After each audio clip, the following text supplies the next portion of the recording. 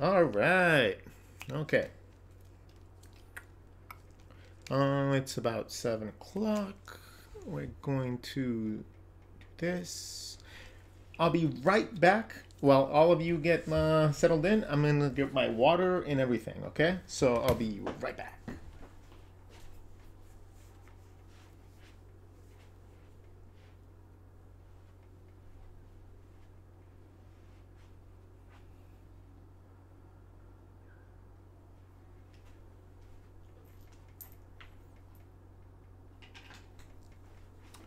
Okay, water acquired. All right, so we're gonna go through the questions that you guys asked in my Instagram story. And since I'm still feeling a little under the weather, if I have to cut the stream, I'm gonna try to shift it to something else, like a commercial. But I don't know if it'll be a problem. So, boom, boom, boom, boom, boom. Um, let's see. Let's put on Photoshop. Scene two. Okay, let's move this back. I think I have it a little too close to my face. Bam, better. Rotate it. Ah. And just a little bit more. Maybe I should be doing this before the stream, right? Uh, okay. Well, hopefully you guys are all in here. Let me post this on Instagram real fast.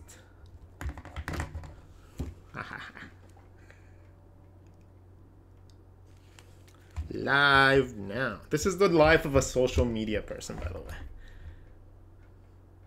Live.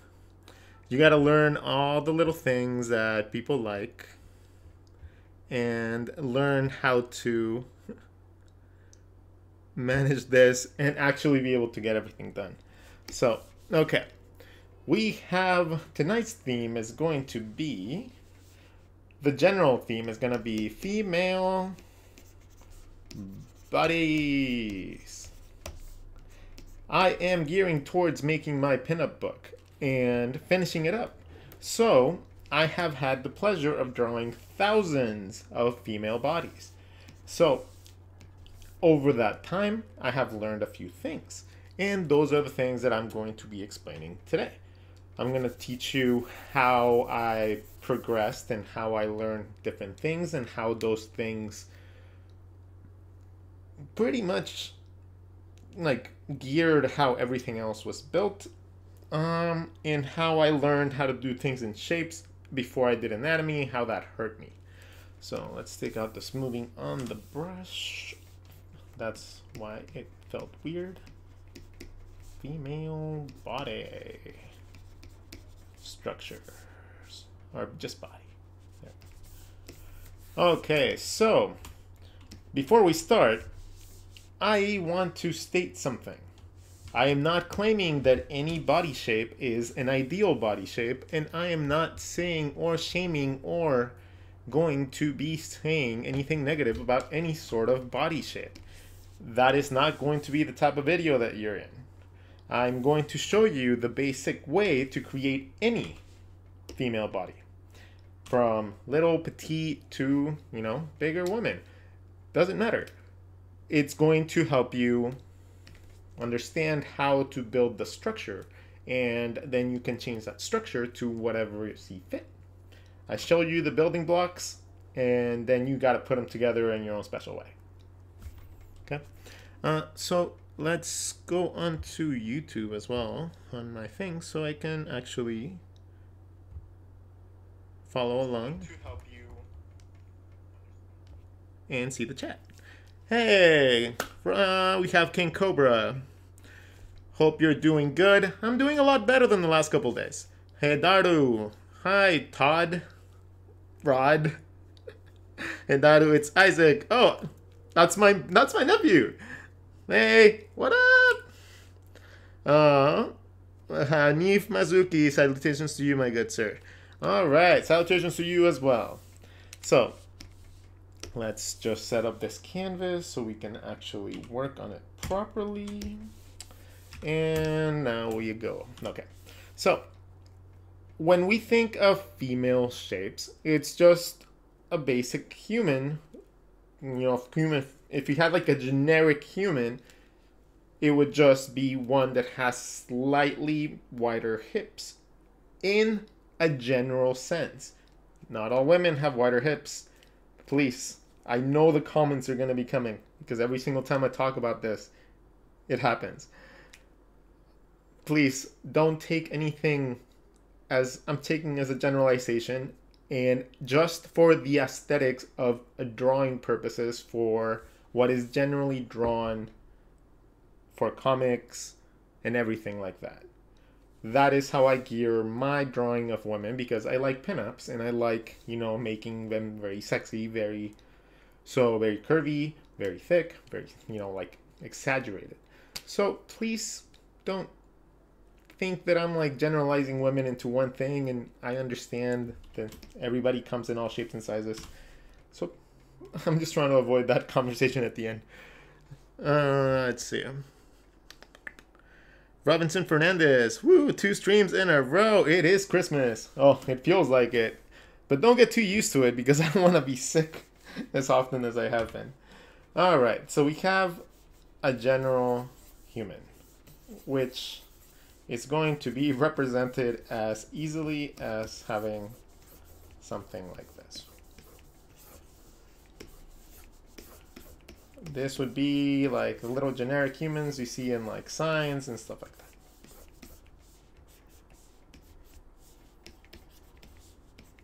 Okay. That's a generic human. We're going to have little hands.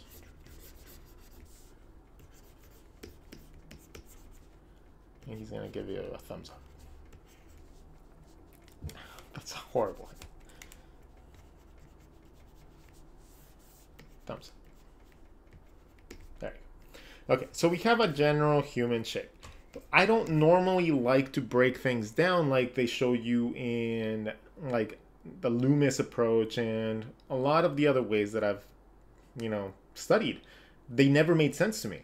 So I learned to structure my bodies in a slightly different way than most other people do. I started a lot with learning how to draw cartoons.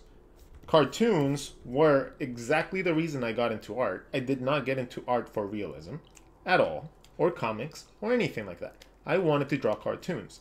More so often, cartoons like. Uh, see if I can draw them from memory.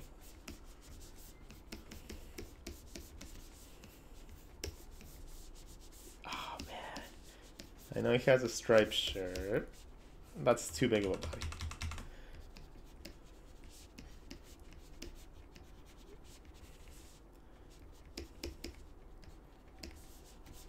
Something like that. Uh, Calvin and Hobbes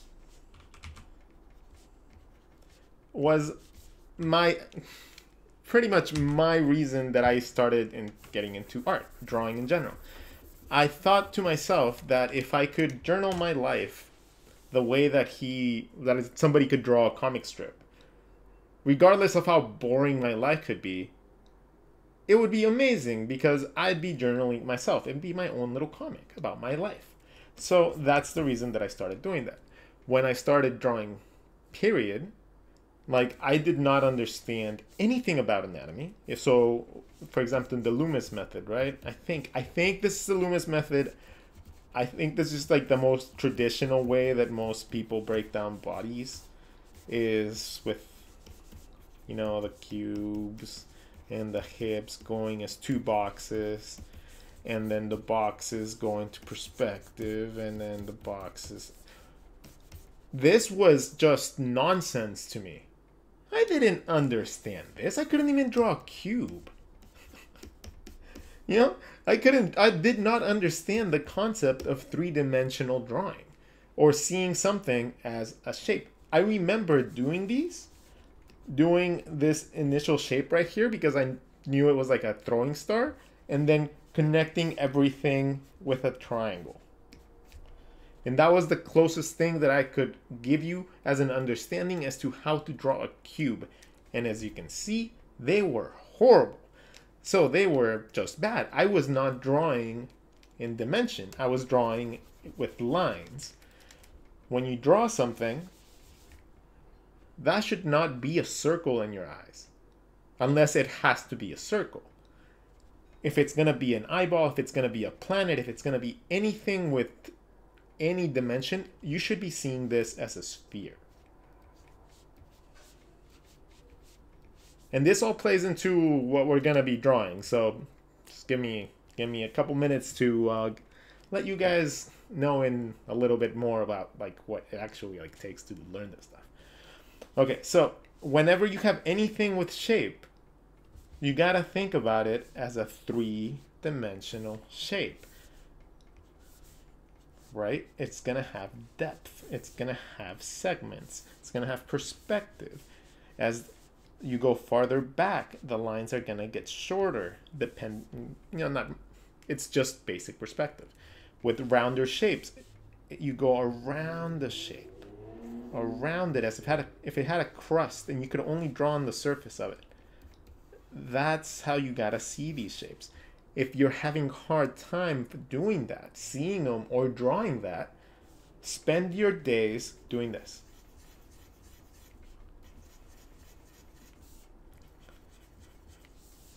And imagine that you're just layering on a big ball of rubber bands all over it. And then when you start doing that again, all you got to do is draw the front of each one of those lines. And now you have proper depth. Ta-da!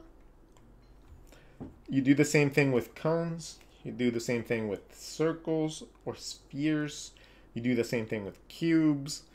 And then eventually you start learning how to do slightly more complex shapes.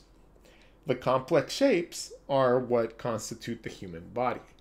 Our bodies are not just boxes. Having this, thinking like this, is what keeps us drawing very staticky, robot things. You know, uh, because you can only move, you can only imagine how the body structures or the little bumps or every other muscle structure has to fit around the box we're not boxy. We don't have edges. We're more like blobs. Honestly, we're more like a pillowcase. So, what I started doing.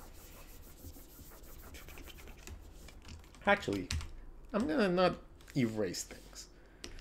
When I'm doing these lessons, I have a bad tendency to erase things. And probably shouldn't because I can use that material for later.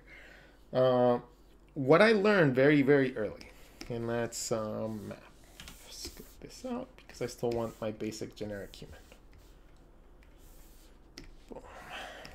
Boom, There you go. Okay, so we have our generic human. What I learned to understand is that if I started to draw things with my head, I, the, the head was the first thing I drew, then the body would always be either too long or I make it too short so it looked like a anime character and whenever I try doing the whole proportions thing you know like bum, bum, bum, like two heads down is the chest blah, blah, blah. Oh, let's do it again whatever whenever I started with the head horrible. That's really horrible. I never got the proportions right. It just never worked for me. So I just started drawing things from the body.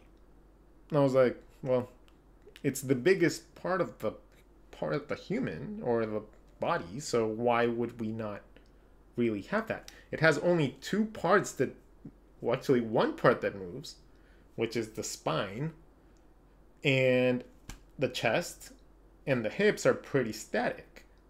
So, what's the best shape to represent that? And what I came up with was a beanbag. What I honestly consider to be the ultimate shape when it comes down to drawing characters. Any draw clean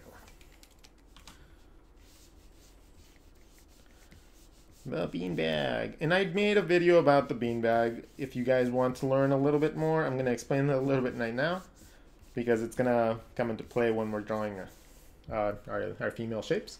And, but take a look at it. It's actually one of the most interesting videos that I've done about drawing bodies because you can do everything with this little beanbag shape. And I'll show you guys how. So, you have your little beanbag now, the upper part of the beanbag is going to represent the rib cage. The lower part of the beanbag is going to be the hips. Now, when before you start doing the hips, though, I like to map out which direction my whole body is going to be. This is a very fun shape as well because let's say if I wanted to make it looking up. I start with where the rib cage, bottom of the rib cage is, and then I start mapping everything out from there.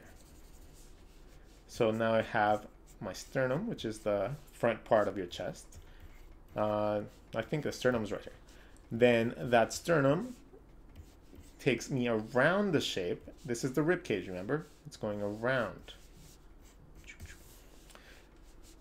That's going to be where the shoulders are because that bone literally goes to where the middle of your shoulder is. that's why learning anatomy is good. You, you learn landmarks. So that and that connect to where the middle of the shoulder is. The shoulder is connected to the chest about the middle of where your clavicle to your shoulder is. So as long as you have that, now you have two different measurements that already map out all the entirety of the top part of your body, right? Now, depending on what you want to do with your hips, you just trace a line going around the sternum. It's going to give you the spine. The spine is going to determine where your hips are going to go because they connect to your hips their hip bone at the end where your tailbone is. So in this case, let's say that I wanted to be having, let me fill this in so it stands out a little bit more. I want the hips rotating so the two parts right here are going to be where my legs are. I like to mark this area like that by drawing underwear on my beanbag. And pretending that it's going around. Yes, this is how I think. right? So now that underwear or bikini line that you want that you drew going around your shape is going to provide you where your legs are going to come out from.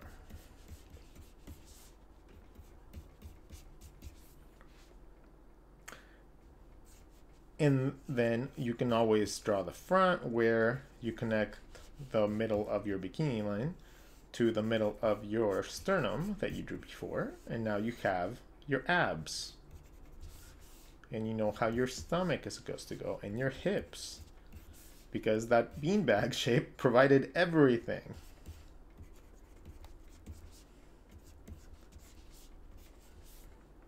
Now if we clean this up let's say we go back to our basic sketch, which is still mapped out like that. We can just trace over the lines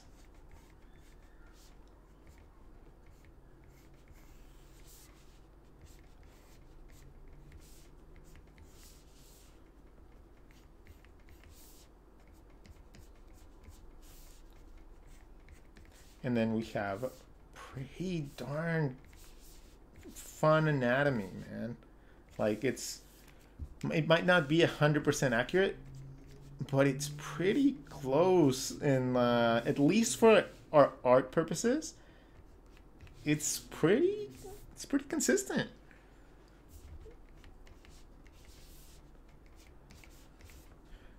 So I don't know. What do you guys think? Uh, let me know in the comments right now. Um, drawing, what up? Uh, while I read this. Oh, so you guys can catch up. Okay. Uh, Robinson Fernandez Jr. Bugs Bunny was the reason I got into art.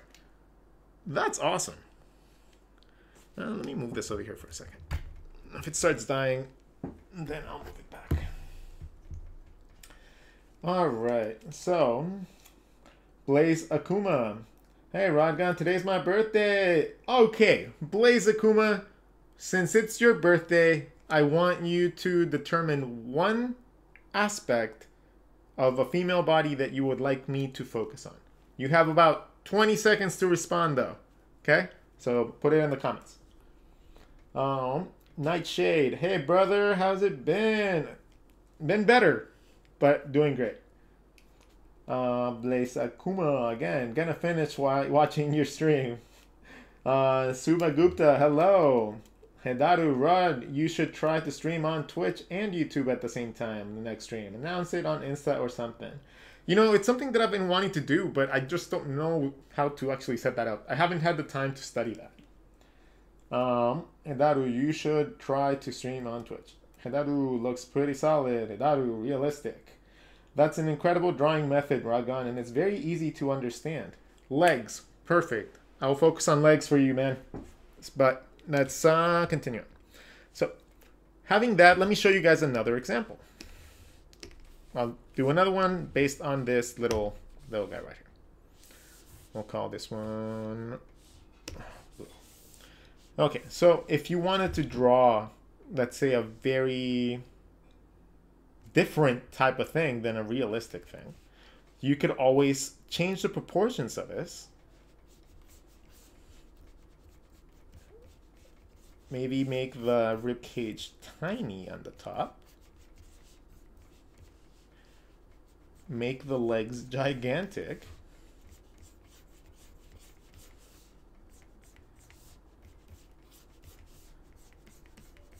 Give the underwear. And then you can have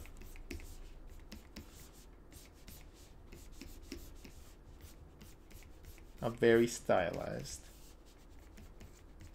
character.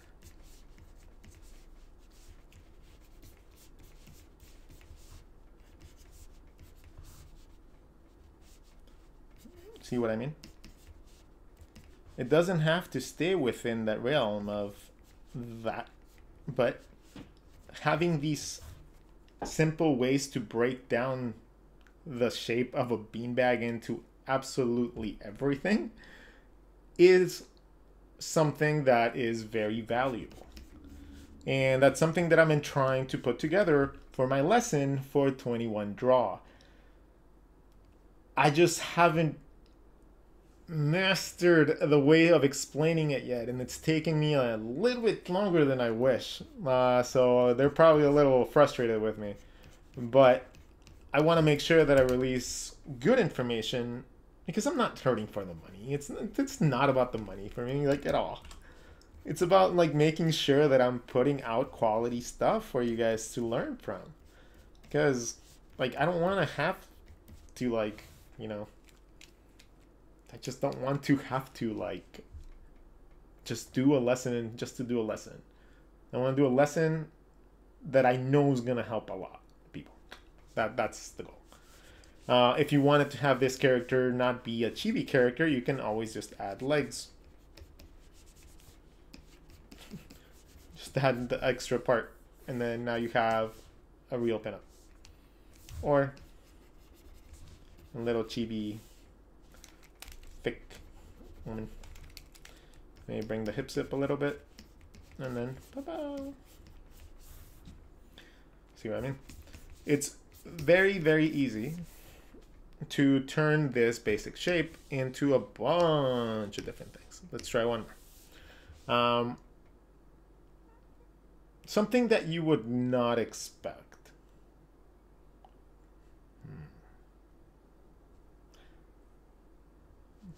Hmm. Hmm. See, now I'm throwing myself into a loop. Um, yeah, you can make monsters, you can make everything out of this, but we're talking about female shirts. You can make any any shape from this. Let's say that if you actually made this into a wider shape, Maybe not so conventionally just bean baggy, but just give it a very wide bottom. And it also doesn't have to have the crevice right here, like at all. Let, let me let me clarify that right now because th that's gonna come up. That's gonna come up with uh, a lot of you, and they're gonna have trouble just drawing it outside of how I'm explaining it. So I'm gonna draw things in different views. So this is a very simple shape to turn around. This is another thing that somebody asked about as well tonight. If you want to have something from a lot of different views, you do what I would like to say a rudimentary turnaround. Right? You map out the little tiny parts of your drawing that are guides as to aspects that would change as your face turns. And then you are able to draw those in different sides just by transferring the lines and the details to the next section. And of course, you have to adjust for perspective. If something sticks out from a profile side, it's going to be farther out into perspective. And what happens when something pops out into perspective? It gets bigger. Right? Kadunk, kadunk. Okay, so that applies to when you're drawing women with big booties. So if you have a woman that has a booty, right? It's probably a, uh, there you go. Okay, so we have a lady with a booty. Now you want to draw that from a profile, but if we wanted to draw that from the back, we have to account for that. So we're to apply the same method. We're to map out the points in the drawing. That's where the hips come in. That's where the butt starts coming out. I know that the hips widen at the widest where your bone is coming out from. So it's around right here. I know that the hips are more so a shape like this, like a little heart. So I can kind of fix that into the drawing. And then I know that the booty is going to have to cup in because it's a significant size. So it would create a shadow too. And then everything else would just apply from there. But if we start thinking too, too complex of a shape like that, it gets a little bit more complicated. So I like to simplify it into a beanbag shape, and it just makes it easy as, as pie. This is going to be the same view from the front and from the back.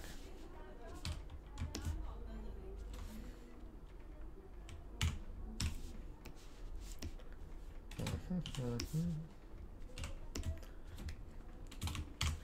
So that's going to be the back. I'll just indicate that, and then I'll erase this to make it the front. Ta-da!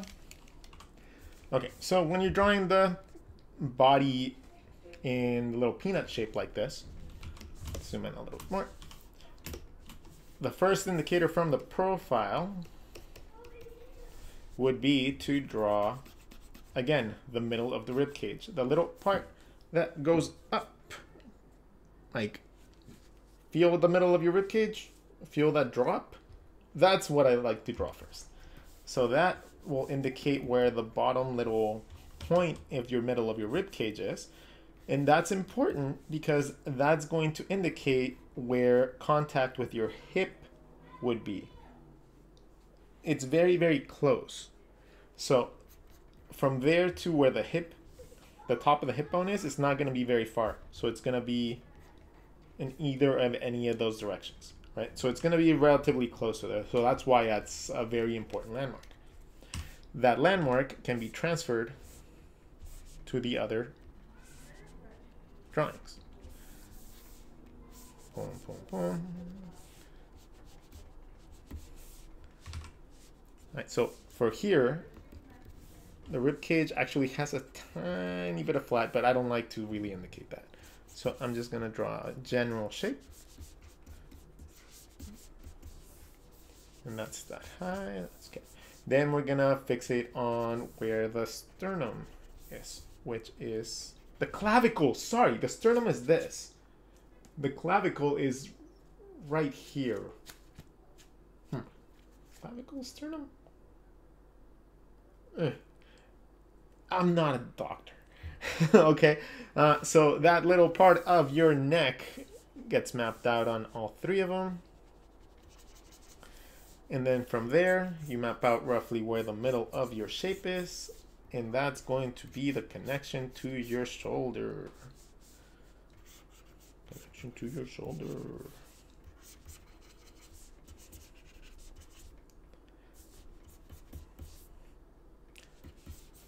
You can always close out the shape for the rib cage by drawing back.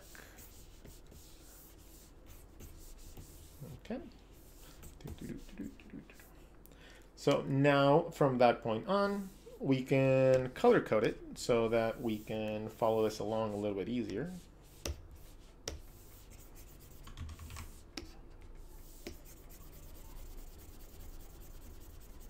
So once you map out your rib cage,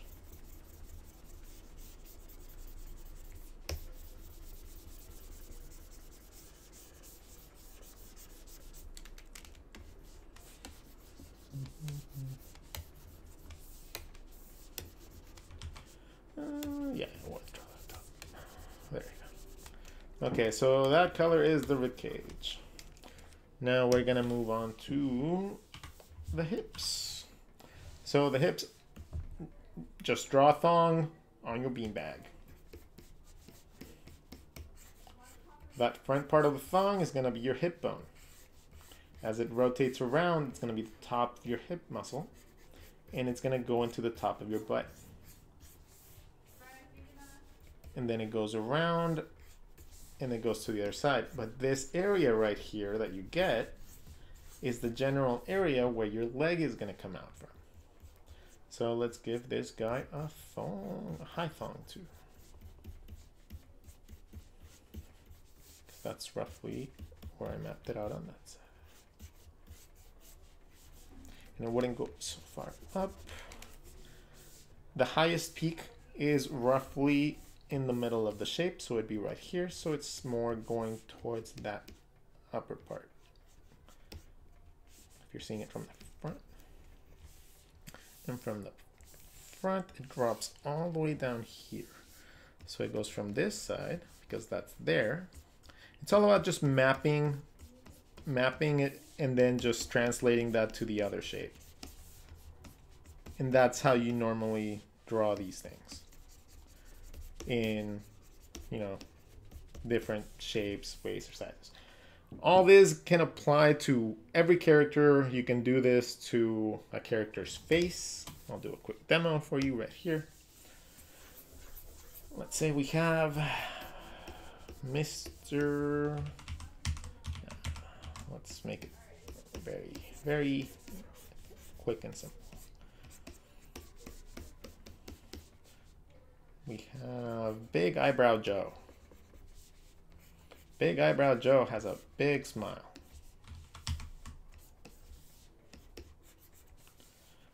And very little ears. Uh, little ears. Okay. This is Big Big Joe.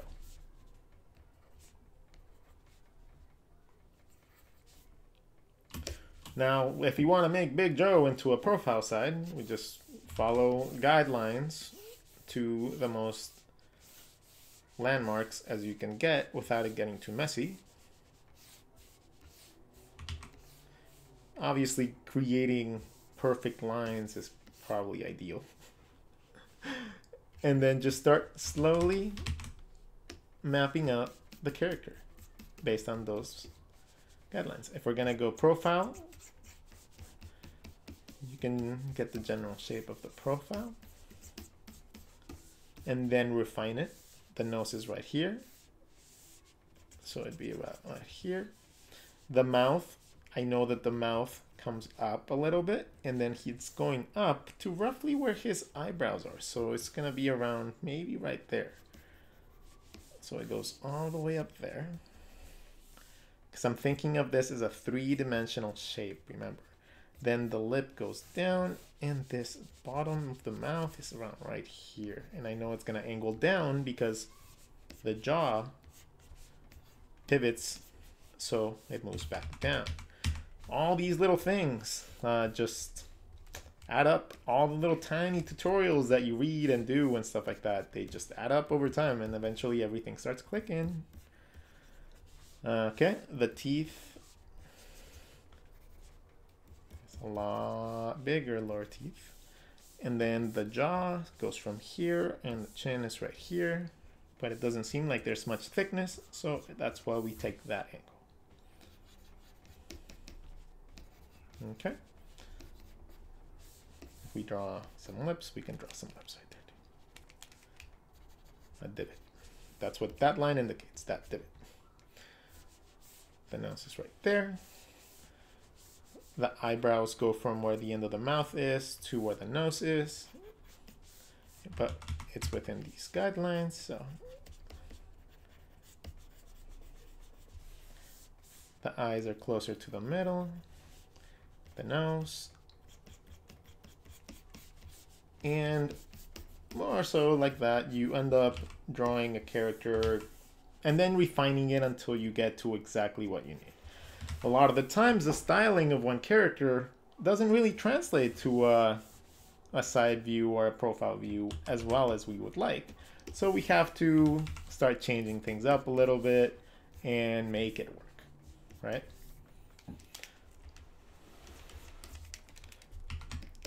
But that's generally how you go about doing turnarounds.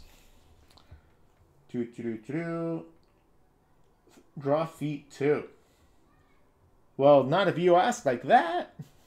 You gotta be nice, man. You can't be demanding things. I don't respond well to demands. Uh, I do enjoy people asking nicely, though. Uh, hola Rod, Juancito desde Argentina. Perdón si te saco del tema, pero ¿qué hace un artista un artista? Okay, so in case you guys don't understand, hello Rod, I'm Juancito from Argentina. I'm sorry if I'm getting you out of the theme, but what does what makes an artist an artist? Huh. That is quite the philosophical question. Eh, let's answer it with doodles. So, what makes an artist an artist? What makes an artist an artist? Boom, boom. Let, us break this down and actually make it into a, like a like a philosophical theme. A little break, you know, from the drawing part. Uh, what makes an artist an artist? So let's look at the two ends of the spectrum. Somebody that wants to be an artist, newbie, an, an expert at art, an established artist, or established. Somebody that has successfully been anyone. So this guy right here is going to be represented by Timmy, and Timmy does his hair super clean, but he leaves the other side messy because he doesn't like being told that he can't. Right? But this side is like super, super smooth. And he has like a bunch of cool things that he's drawn and he shows people.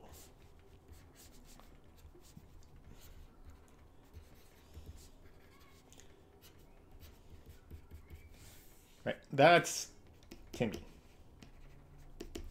Brand new to art. He loves drawing just because he likes drawing. And he is unencumbered by anything that anybody else has to say about it. Okay, so he has no cares about industry. Just likes drawing. And does not how do I explain this?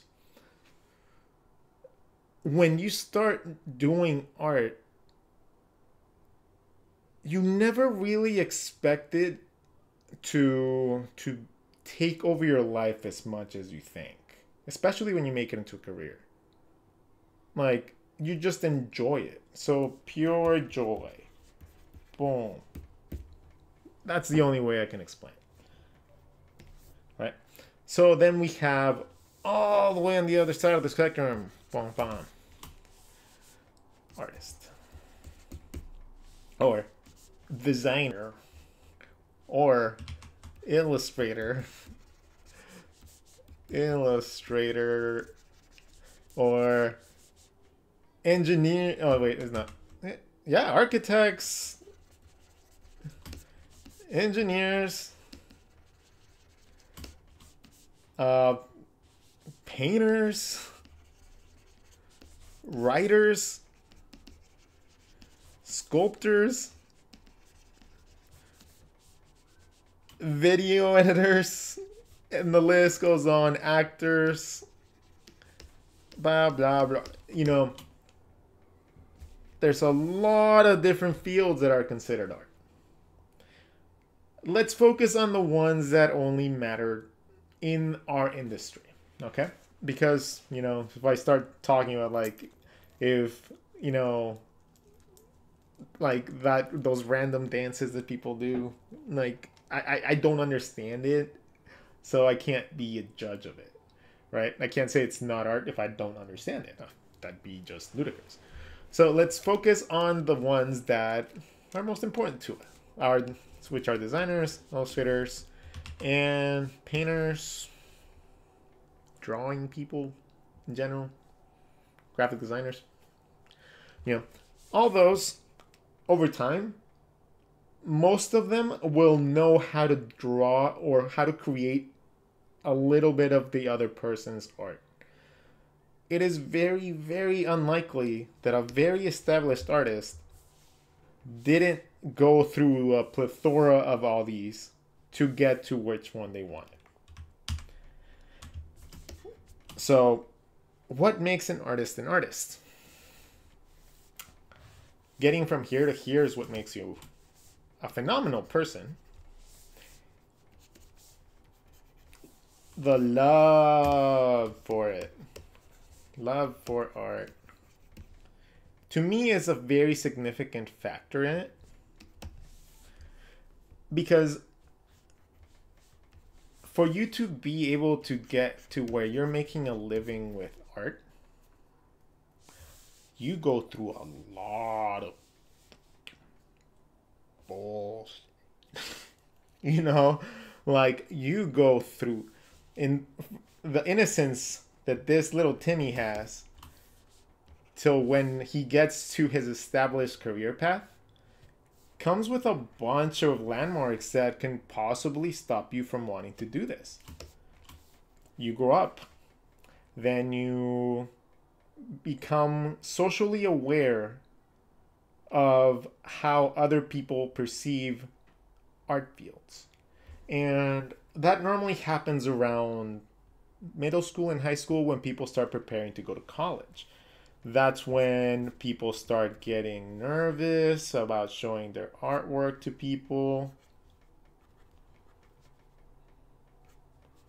They start hiding in like the fact that they want to do art because, you know, their friends are gonna be going to college for law or they're going to be doctors and then you don't want to be pressured to not be able to pursue what you want. So you tend to, you know, hide your true, you know, like love for it. And then when people do find out that you do art, at that stage in life, either you get accepted, which is fantastic, but more often than not, people are very mean at that age, you know? Especially if you're not a popular kid and you actually use your art as a seclusive thing, it ends up being relatively bad experience. So a lot of people tend not to show their work to people. getting past that barrier, high school, middle school. And let's draw somebody over here.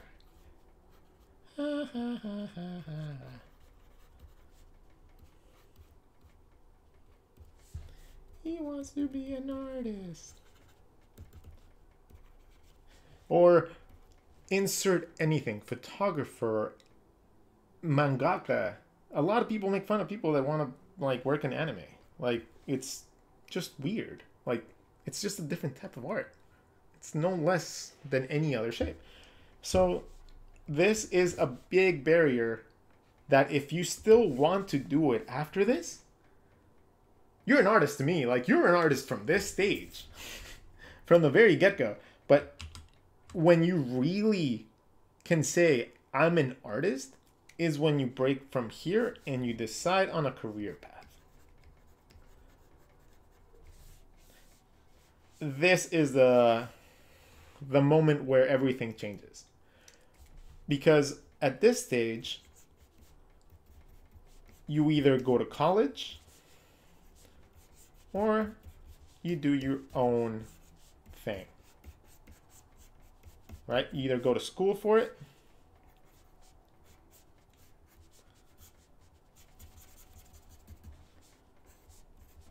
no Timmy here, he's in graduation, so he's gonna have his hair come down.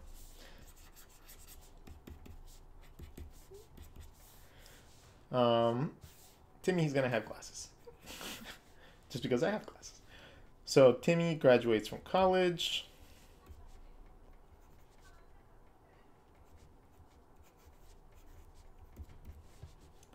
With his diploma.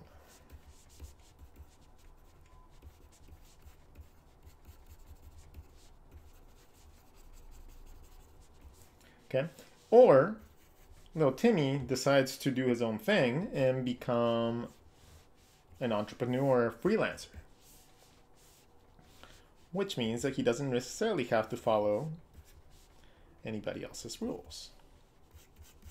So we'll give him a mohawk to represent that.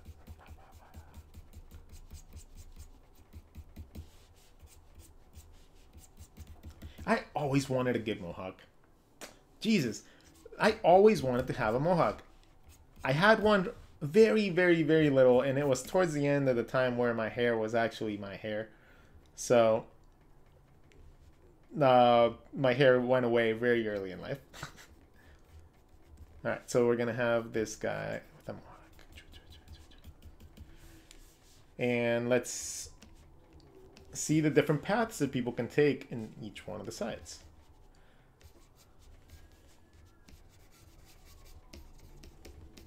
and what's the best course? And you know why this is such a big barrier to cross as well.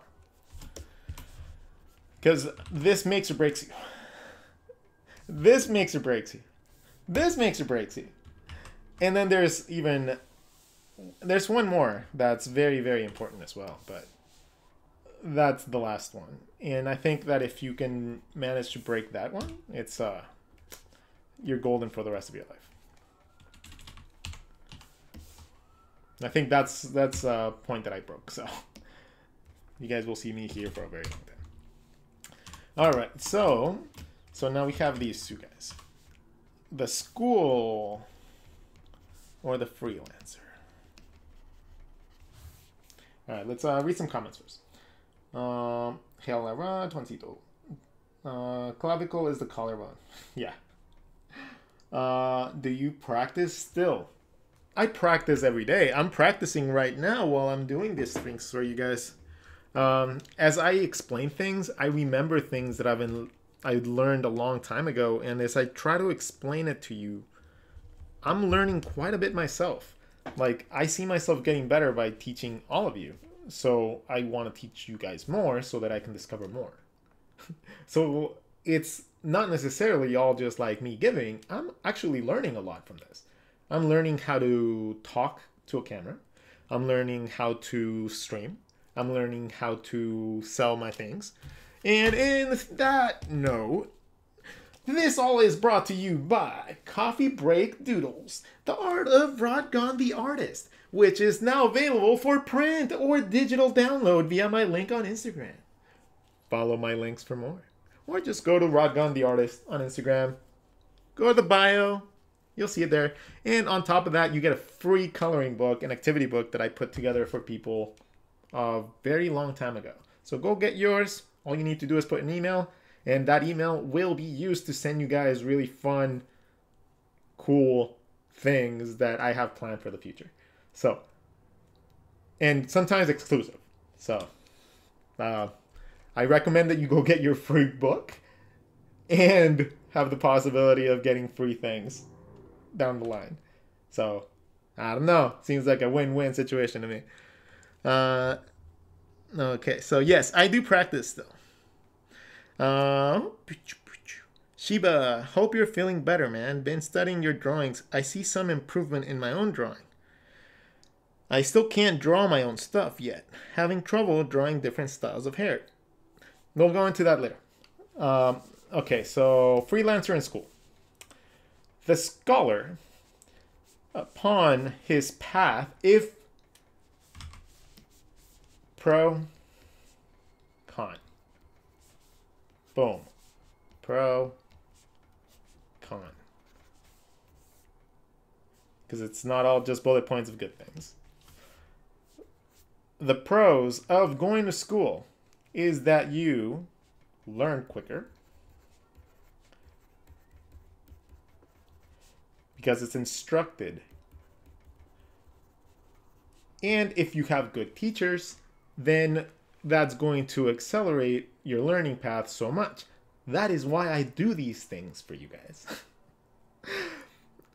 I wish I had a team. I swear, if I had the ability to create a campus and the funding, I would just imagine Rodgon School for a, for living as an artist and not failing and doing other things that are really cool.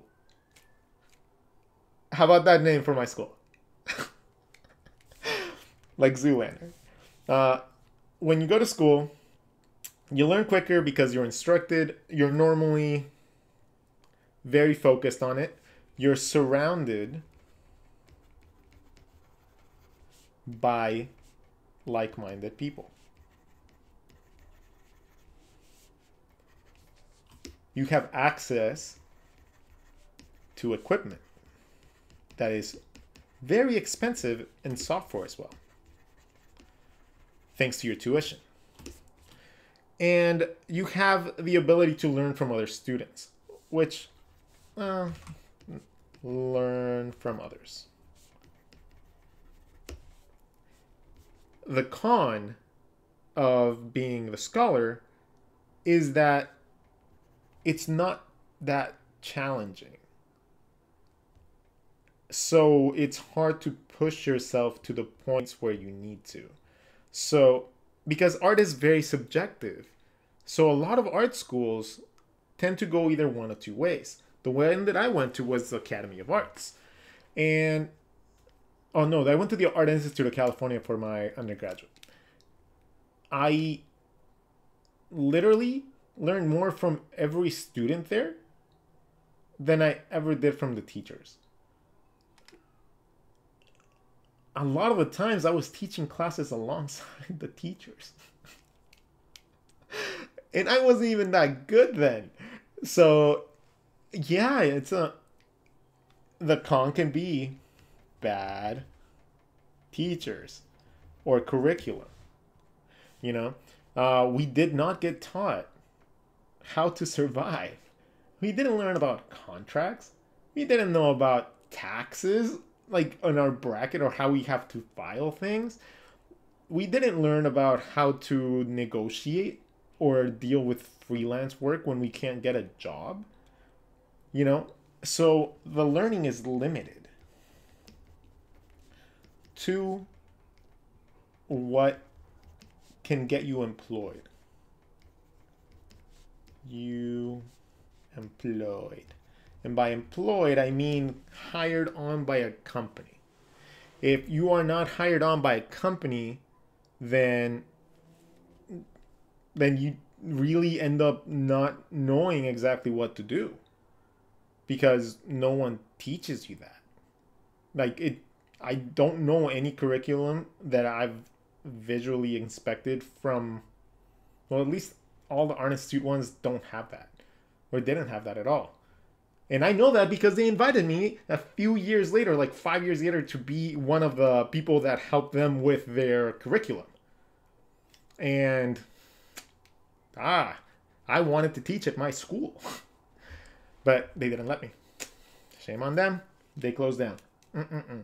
bad bad bad ai but that's something that can happen.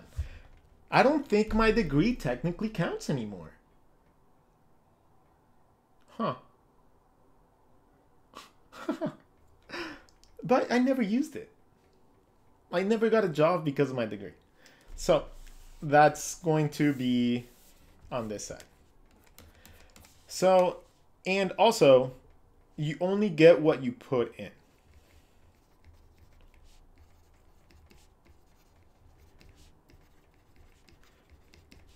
Now, if you're a very driven person, that's here. But if you're not, this, that, that one makes everything else not worth it.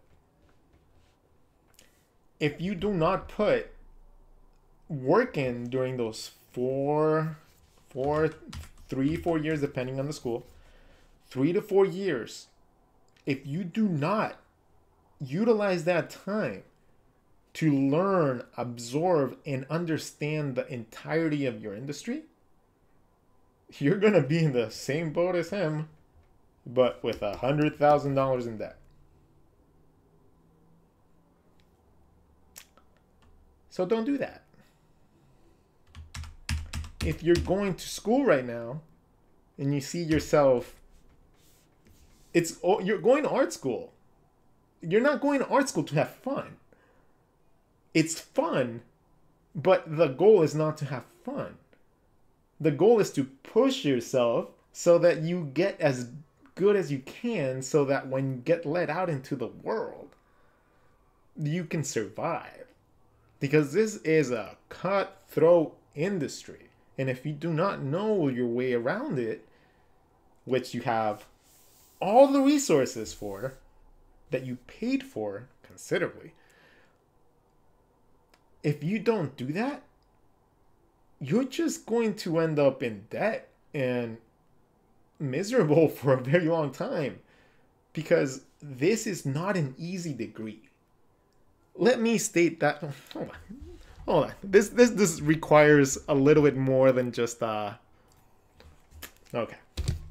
All right, let, let me shift my camera here so I can see you guys directly. All right, so let's talk a little bit about why it's important to put your all into the things that you do. And this is especially going to be focused towards people that are going to art school right now. I was I was very very bad about focusing in school. But at the yet at the same time I wasn't.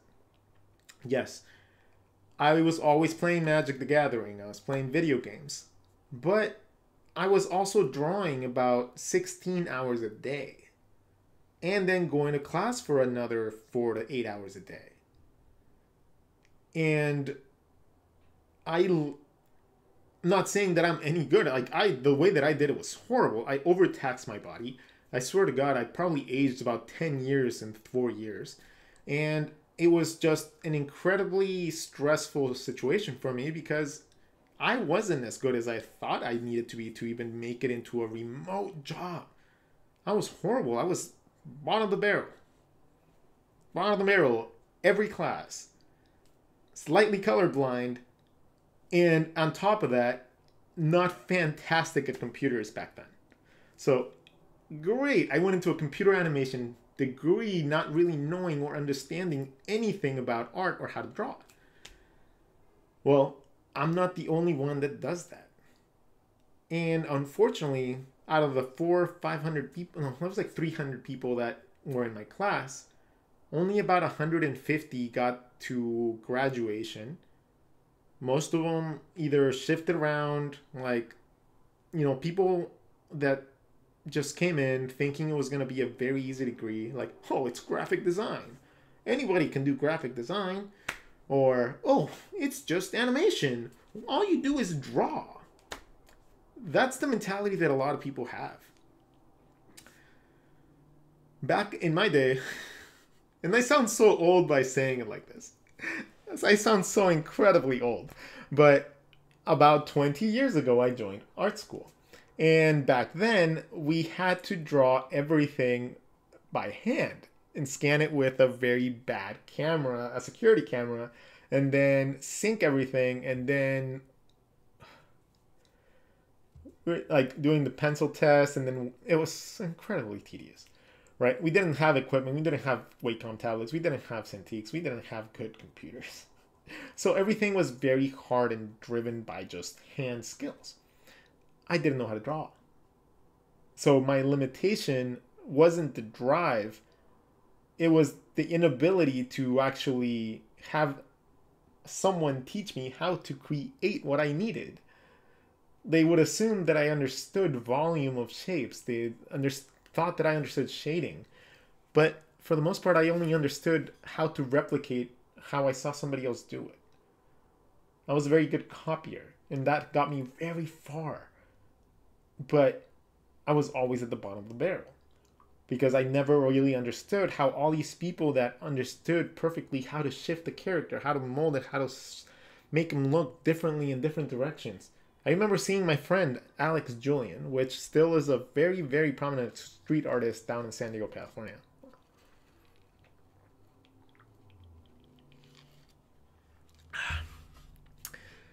He, one day, just randomly sat down, opened the sketchbook, and started drawing heads in different shapes. And I'm just gonna do that exercise right now with you guys, so you can see that like what fascinated me so much. And that's just a side note on the side note. So eventually we'll get back to it. Okay, we'll get back to this one. I'll mark it as red, and then we'll get back to that. I always end up deviating. I'm so sorry. Uh, okay, let's read some comments before we shift gears and then go back. Uh, Marina Bonaire, I wake up in France and see you're streaming. Good way to start the day. Yes. Uh, Five Tails, you should do your own NFTs. I'll probably buy. That is actually coming. Uh, I'm launching them through my Night Terrors brand, and it's gonna be just. I need to very, very much understand everything if any of you knows the whole process and is willing to share a little information with me and help me out, please contact me through Instagram. I would be incredibly, incredibly, incredibly thankful because it's something I really want to get into. And if I can manage to make a living doing this and just be able to create all day, woof, man, I don't know how what I would be able to create entire worlds, honestly. Uh, let's see. Do you uh, do you think it's possible to become a good artist when you start late? Like I'm 33 with two little kids at home. I used to draw a lot, to a lot of three year olds ago, but right now it's hard to find time.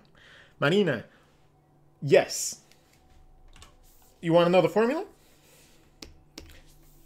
There, it's a very simple formula to get better every day with even like Rodgon's method. Okay, I draw myself.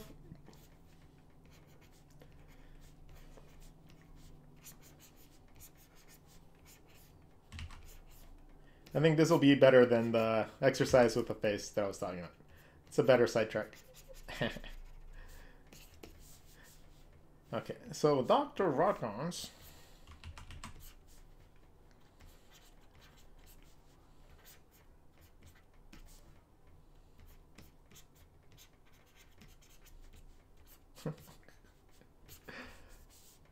Okay. So Rodgon's formula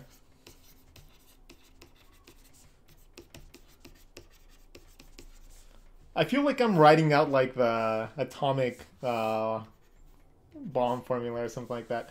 honestly, write this down though. Like, I will only share this in this stream. This is stuff that is gonna be in my book. And you guys are farther enough, farther enough in the stream that I don't mind sharing it with you. Because you guys are the fans. My handwriting is garbage. Formula for accelerated growth with your drawing. This is something that I teach to every single one of my apprentices. This is the first thing that I try to impart on them before they continue doing anything with me. And this is something that I've seen personally help like make their art so much better so quick. And Corey, if you are watching this, I'm talking about you, bro. Uh, you drastically got so much better. And holy moly, dude, like you're like ready to do your own comic. Like you came to me wanting to learn how to draw faces a little better, and now he can draw his own comic. That's fantastic. Okay, so Rodgon's formula for accelerated growth. Step one. Always carry around a sketchbook, right? Yay, little sketchbook. I like my sketchbook cover. I will always be thankful to Marianne for that. She definitely helped my career immensely by doing that for me. Because I don't think I would have drawn as much as I do right now if I didn't have that little sketchbook cover that honestly that that is what kept me going a lot. so carry a sketchbook with you everywhere you go. Ah, sketchbook. Now, how I keep that on me the whole time, there's a couple different ways. Now, there's a fantastic, fantastic product out there called the Sketchbook Wallet, a sketch wallet. The sketch wallet is a tiny little sketch. Like, it's, if I'm here, the sketch wallet is a little wallet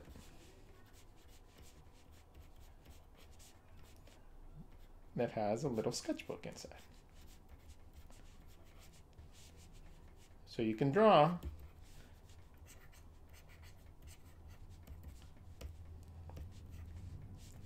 anywhere you are.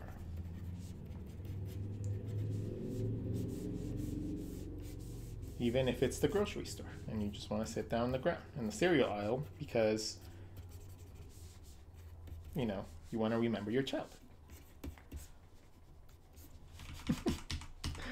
Sir, you gotta go.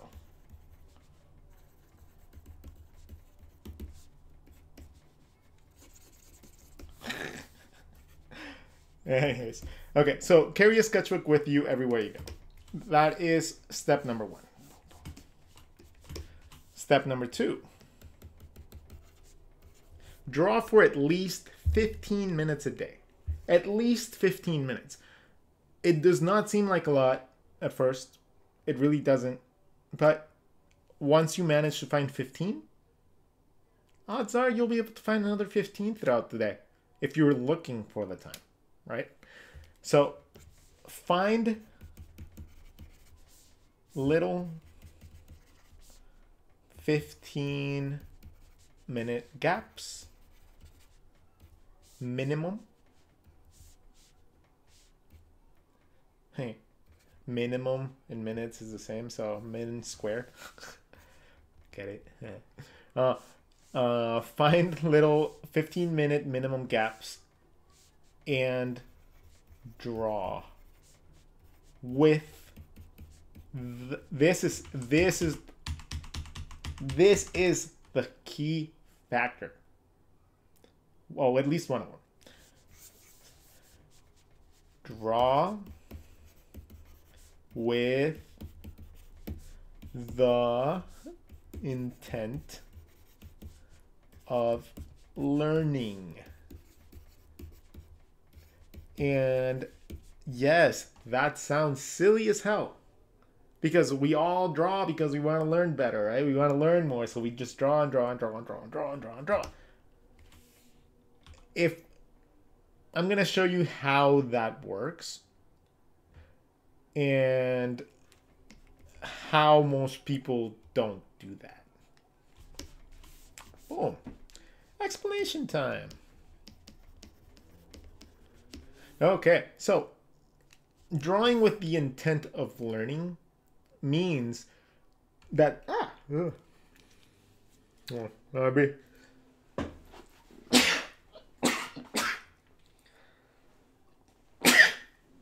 ah, I hate sneezing. Okay, drawing with the intent of learning means that you are taking that time to focus on a single thing you need to learn and that you're going to make sure that you can learn something even moderate in those 15 minutes worth of time. Which means that you have to learn to understand what you're about to draw a little bit better each time that you draw it. Now the difference between a person that drawing for drawing is this. A person that's just drawing to just draw will draw the same thing over and over. And it's not the same thing as in like the same pose, the same exact thing. It's literally imagine drawing a character like that. And you already know how to draw that perfectly and you're like amazing at it. But you keep drawing everything with the way that you already mastered everything is the same. And that's uh, something that happens a lot to all of us. We find a style that we like and then we're good at, and then we stick to that.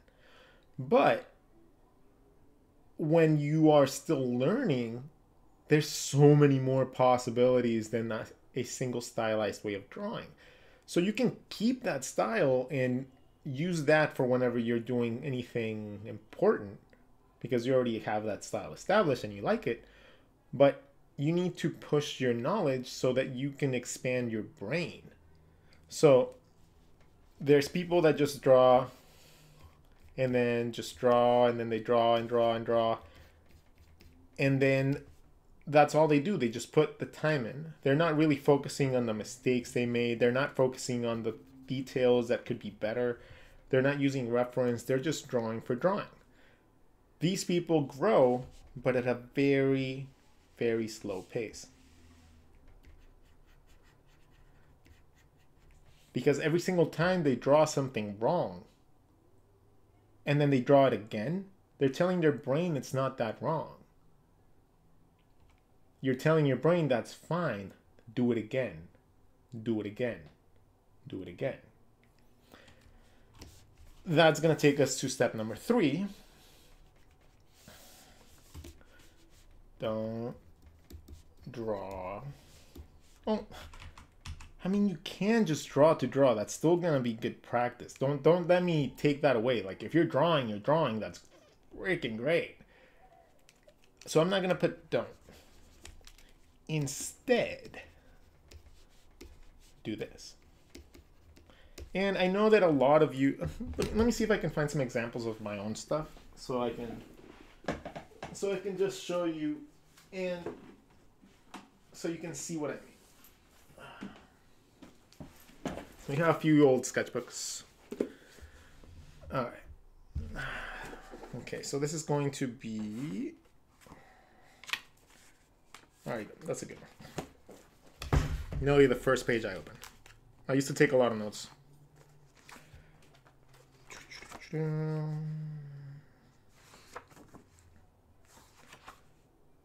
you These are two examples that I can play with right now. All right, so step number three.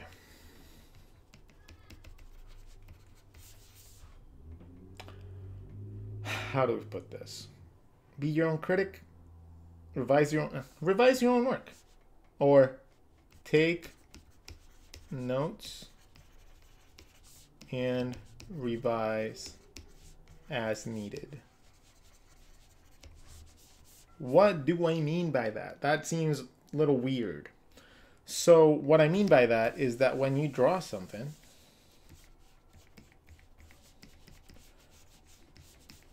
all right, and I'm just going to draw something really quick. And I'm going to purposely draw something wrong.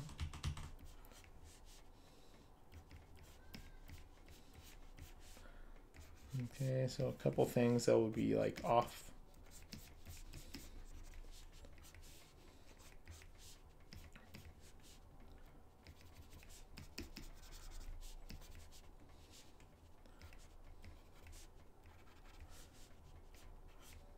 There you go.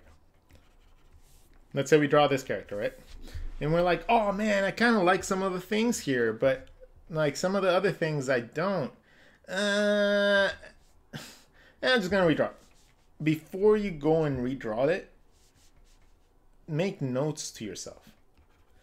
So, if what I didn't like from this is because I wanted to maybe make this guy looking directly at me, right? So I'm like, okay, so this eye's okay, but this eye is kind of weird. So I will literally grab, like make a little line and be like, eye is off. adjust to, and then I'll grab, if I'm using a tablet, I'll just grab a different color. There you go. Adjust to blue. Boom.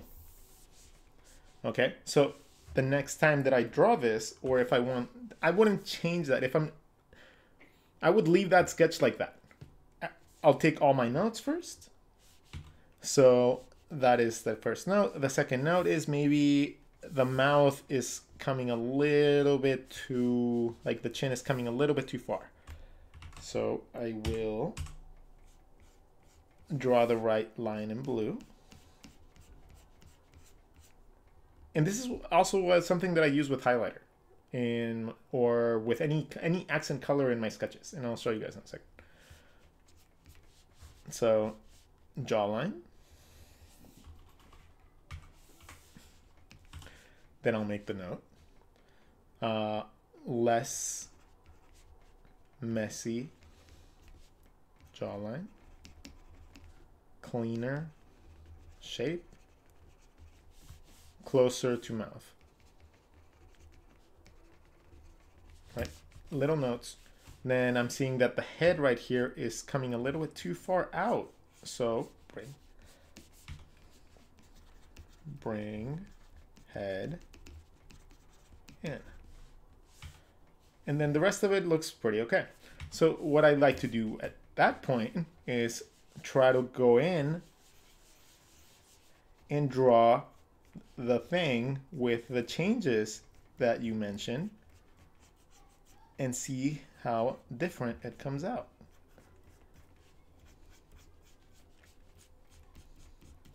You essentially become your own system of revisions and your own critic. So you need to learn that. Let's see, we have eyes. Right. So now it's closer to what I expected. Boom, there you go. So now, next time that I draw this, I'm not going to make it, the likelihood of me making that mistake, that mistake, and that mistake are incredibly less. And this is like literally the secret to getting better quick. If you can do this, and now let's say I went to this one, right? And then I was like, oh, okay, this ear is a little bit too big. This one's sticking out a little bit too much too. It should be more like Boom, boom, Okay. So maybe the ear needs to be a little smaller so it achieves the look that I want. Or this eyebrow needs to be higher. So we bring it up a little bit to create a more dynamic look. From that point on, you just start adjusting little things like that. And as you keep going, you just end up with something incredibly better. And even if it's not something that was like something you could achieve right away at first, I promise you, doing that with your sketches is gonna get you really, really far. So here's a couple sketches that I have that I can show you guys. A couple pages. We'll flip through a couple. So I took advantage of drawings that were bad. And and I just would just chronicle everything that's wrong with them in a funny, comical way. This helped me considerably as I learned how to draw different shapes, different characters a little bit better. I am I was a very very critical person of myself, especially when I didn't come out like the way that I want. I also see myself drawing a lot of things that were just literally drawing for drawing's sake. But even when something good is happening, I just like to document things in my life. That was the reason that I got into artwork. If you have some plans for something in mind, you can also always write it down.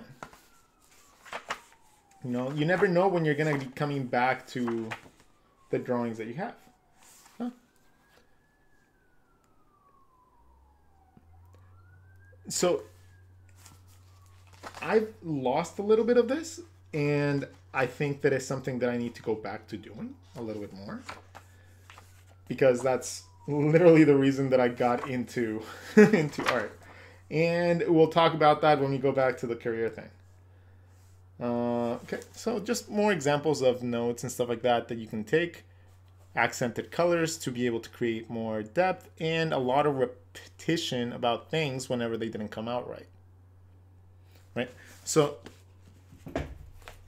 that, see another notes. Ba, ba, ba, so little things like that help you get so much better so much quicker you know, just examples. Little tiny notes like that will help you a lot. So that's it. It's a three step formula. If you do that, I promise you, if you focus and you only draw like this in your sketchbook for the next two months, two months, if you don't see a gigantic change in your like in your designs and your art, I will give you a free coffee break doodles book. I'll give you a free digital copy. But prove to me that you did it for two months and you didn't get better, I'll give you, I'll gift you gladly one of my books. Now, you might be thinking, one thing that I didn't mention here. What if I don't know what's right or wrong? right? So that's why we use references. So let's say that I was drawing this and I was kind of like basing it off of the way that Randy Bishop draws faces, right? Because I love Randy Bishop's faces. So I would like see where I got the idea for this and then use that as a reference to see how different it is from what I drew. And then you do the same thing. You adjust and you just kind of focus on little details. There's going to be a point where you just can't see that detail. That's just our own skill level. It takes a while to get to the level of of detail orientation because think of it as tiers. When you start off, Oh, this is a completely different like tangent. So no, no, no, we're not gonna get into that. Okay, back to the other tangent. okay, so we're back to the. Okay, what did we go over? Oh, how to get better quickly, because that was a question you guys asked.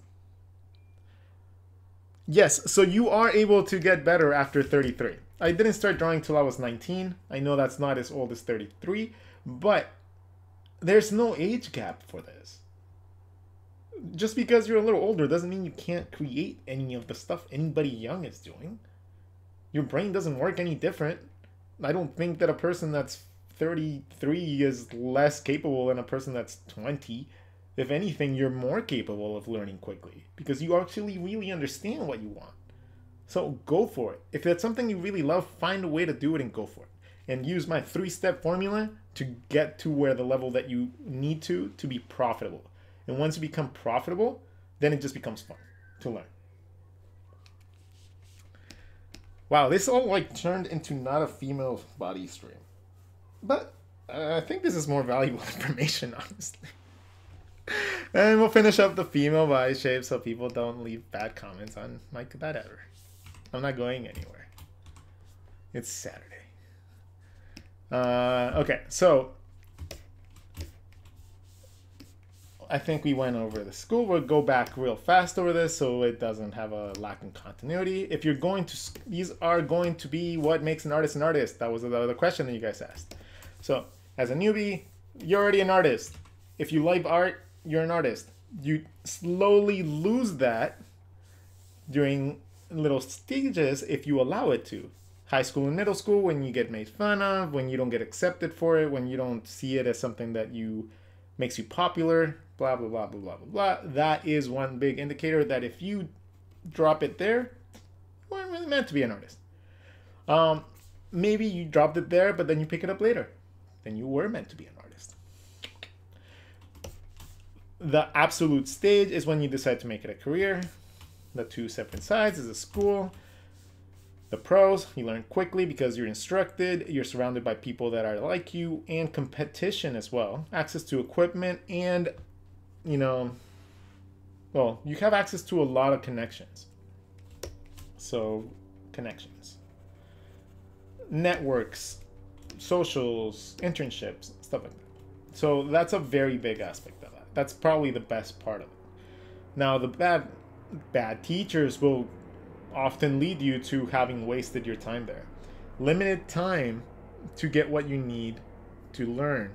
And most of the time, that information is limited to what is going to get you employed by someone else because they don't have time or they just don't feel like teaching you how to survive on your own. And you can only get what you put into this. So if you slack off, you're going to have wasted your career. If you work hard, you'll have that success in some aspect of art field. Work your butt off, you'll get that. Slack off, think that it's easy, then you won't. Now, we move on to the freelancer side. Uh, I'm gonna need more space. Okay, so the pro aspect of being a freelancer is that you're your own boss. That is your own schedules, your own time, your own manage your own free time and work. That alone is honestly a huge reason that is a plus in most people's eyes. You get to do whatever you want. Get to do art you feel like doing. and I'm just to say it like that because we don't always. This is an aspect as well that's going to come next. And it's going to deal with. Um, I don't know if you guys know this guy yet, but you will.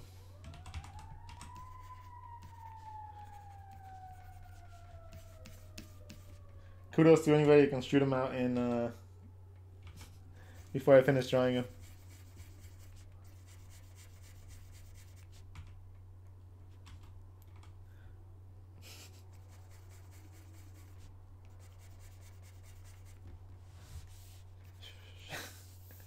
So this guy comes into play in the next in the next part. Um, because it happens to absolutely every single artist that does not get success before a certain time in their life. So, okay, so you can a pro being a freelancer is your own boss. You get to do whatever art you feel like doing. Uh, in the art field, we just do not always get to work on what we want because the money doesn't come from there. As a freelancer, you have the option to do work for others or to pursue your own your own art path. And that's a very very very very different path within that path. And that could go into a whole other video about. A lot of people that go into freelance art, and I, I was to blame for that for a while. I would only focus on trying to get logos or business cards or posters or marketing stuff or mostly things that would help other people create their own ideas in their head. So I saw myself as a tool to be able to get everybody's idea onto paper and help them get like that. But that very quickly just drains you. Like whenever you're only working on other people's ideas, it drains you because you didn't get into art to create other people's logos. At least I know I didn't. Oh, I'm not even showing the screen.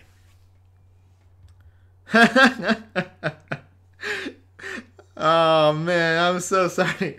Okay, good thing is that we were just talking. Now you guys know suspense. And now you guys, if you guys can name this little dude, that comes up in the next stage, and that's literally if you pass this stage, then you made it for life. Uh, so all the pros are that you make your own path and you can pursue your own ways, or you can just find joy in just making art and do art for other people.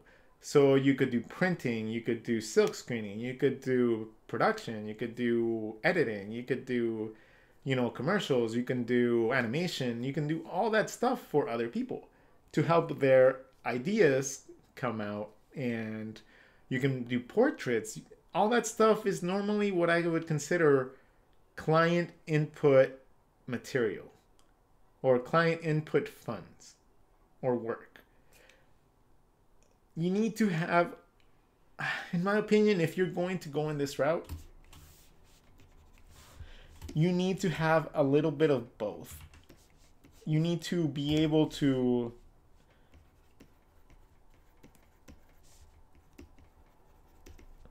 you need to find a very good balance between your own art and your own goals and getting money from clients which you are helping to refine those skills so you can get to your goals. So anything you do with clients should be refining what you need to to get to that goal. So if I don't want to create logos for a living and it doesn't involve anything in my goal path, I'm not going to take on logos if I don't want to do comic strips or comic books, why take a commission for a comic book? Unless you really need the money. But that's also a problem. So let's go on to the cons. Oh, um, yeah. Let's go to the cons. If you decide that you're going to be a freelancer or a self study person, Mr. Dope! Yeah, John Gillen got it. so, okay, let's see. So, the cons of being a freelancer you are reliable for your own self. Yeah, you have to be self reliant. And even though that sounds like, oh, I'm self reliant, I get up out of bed, that's not what I mean you're going to be in charge of your learning schedule. You're going to be in charge of any any source of information that is needed to get to your path because you don't have instruction. You don't have people that have been there unless you find a mentor or some sort of person that can do that for you. If you're on your own, you have Google and you have books. Those are your go tos. And if you don't put the time into this, if you don't consider this part of a daily schedule, part of your job, you're never going to get better. You need to establish time to learn. You can't just keep doing art without trying to push yourself farther. Now, something that I like to think about is for people that are like employed and actually try to do their own career and path,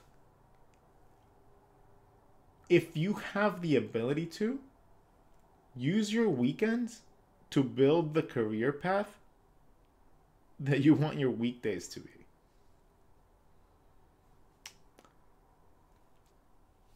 That's it. Like you need you it's a different life. Being an artist is very different than many career paths. And that is something that I had like a lot of discussions with with some previous exes because th- that's always been an issue with uh with people that date artists.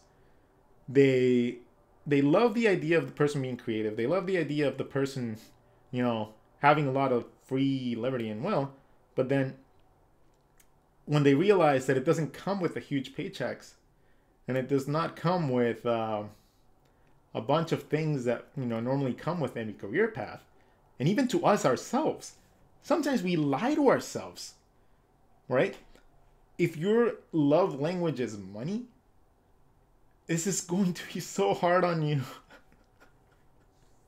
because it's so hard to make a lot of money. It's like it's so difficult unless you are willing to do things that are not necessarily good to do uh, for a career path, you know. So, if you don't have the will to learn on your own, you're never gonna succeed as a freelancer. Find a way to go to school. If you need a lot of people to tell you what to do, go to school if you're able to get up at six o'clock in the morning, go to the gym, organize your schedules, tell yourself from this time to this time is this time. I'm gonna take meetings from this time to this time. I'm gonna research this from this time to this time. Then you will succeed as a freelancer. Don't go to school. Screw school. You are way better off. Do it on your own. But you need to be driven. And if you're not driven, this side, don't even think about it honestly, like it's just not gonna be a side of uh, art that you're gonna enjoy. So you're not gonna learn if you're not driven. It's gonna be really tough on the scholar side too, but it's gonna be incredibly or impossible to do as a freelancer. Um, it takes a lot, a lot of um, work habits, scheduling habits, and learning to actually live within certain parameters uh, of um, you know limitations because you have to constantly be spending time doing art and practicing art especially when you're starting off like it's insane if you want to keep up with a lot of the people there and you're not absolutely the best i was drawing about 24 pages in my sketchbook a day at one point and these are full pages with the intent to learn. My hands would hurt. Like they'd cramp up. I I'm surprised I don't have carpal tunnel. You know? Like I would I learned to sleep like four hours a night. And at the end of school, I never ended up using most of the information that I learned from them. So I was both. And I am telling you right now, whew, that was tough. So I'm telling you all this from experience, from both aspects. You know, I was taught all the computer stuff at school, but I taught myself everything about drawing. So it comes with that. Now, the next and the last stage, the one that makes or breaks you, is when you learn what the industry actually gives back. What it means to be an artist. So, what makes an artist an artist? I still think it's the love for the art. But if you learn what it means to be an artist in this modern day and age, and you still like it, and you can live with it and you enjoy it. And what I mean by that is simply this bullet points that are very, very common. You do not get to do something for yourself for profit for a very long time, most of the time. So you need to understand, uh, you learn that your own ideas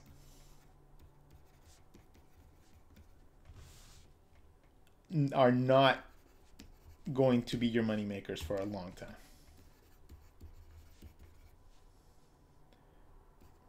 Bring money. Sometimes it just never happens. It's just part of it. Now, the other aspect of it is the monotony that comes with a lot of the work that is offered to creative fields. Ah, sorry. So, let's say you studied illustration, but it happened to me as well over the last five years, honestly. You're a person that enjoys drawing, but you end up at a job doing photography for a product company that imports things and sells them on Amazon. Oh my God. Yeah, I can do that because my skill set allows me to do that. But it was almost like my soul was being sucked dry. It was the easiest job that I have ever had in my life. No one supervised me. They just assumed I knew what I was doing. I did. Then, and day out, I would sit in front of a computer doing the same editing to all the same programs, to the same images over and over and over again. I literally just wrote a script and I would get all my work done in like 20 minutes. and then I just sit there watching YouTube for a long time because I didn't have anything else to do. That sounds like a magnificent concept, and because maybe I could do my own work, but I couldn't. Uh, I didn't. I wasn't able to work on my own things while I was working at that place, due just to simply not a smart thing. You know, never work on your own things on personal computers from businesses. Don't do that, because then depending on how you have your contract set up with them as an employee, they might own part of your shit now. Oh yeah, Mr. Depp is gonna have uh, little hands too. Uh, yeah, so even if it's an art field job, because it still is, it's marketing, graphic design, photo editing, manipulation. I hated it. I hate it. And I'm sure that there's so many people that would enjoy to do that and love to do that. But I would rather make $8 an hour drawing caricatures and be happy doing it than making the 30 or was it like $25 an hour that I was making at that place. Like it was just so bad. And I learned at that job like that side of the industry the marketing, videography, advertising side of the industry is not for me. It just is not. It's not. It's not. I, I will never work in that field again. I'm very, very, very, very like close to not taking any more logo commissions.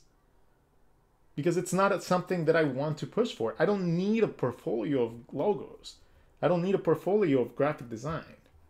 That's not what I want to do. I don't want to take on people's commissions anymore like that. I don't personally. I'm already having a hard time trying to find time for commissions in general because it just gives me stress.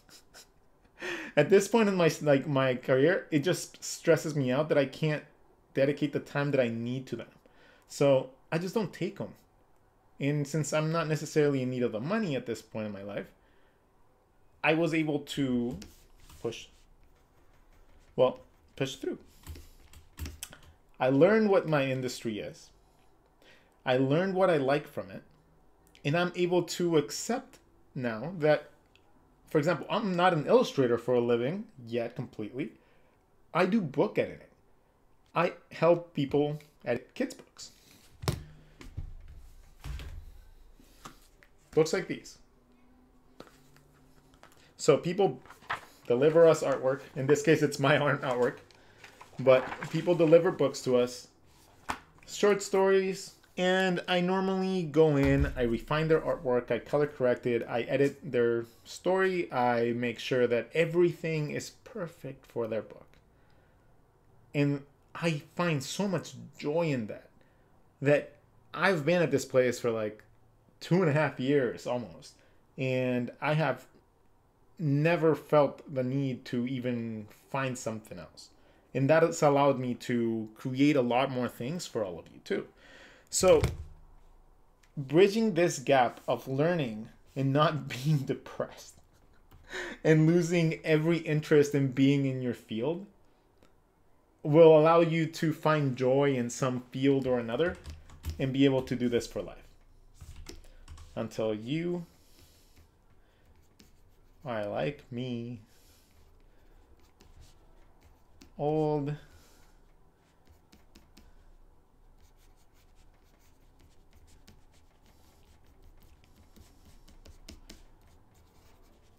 Because one day I will pass.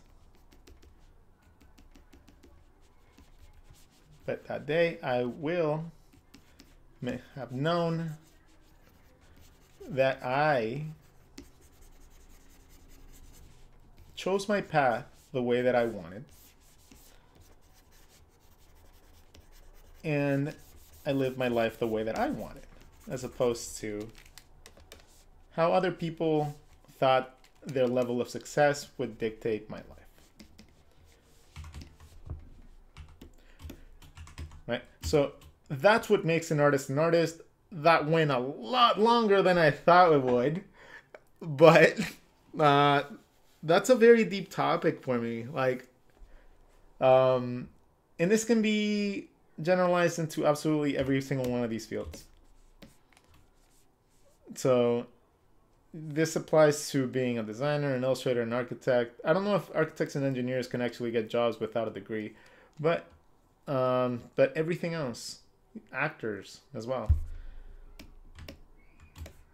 That's what makes you an artist. It doesn't make you an artist if you're successful. Uh, you're only success. You're only a failure if you think you're a failure.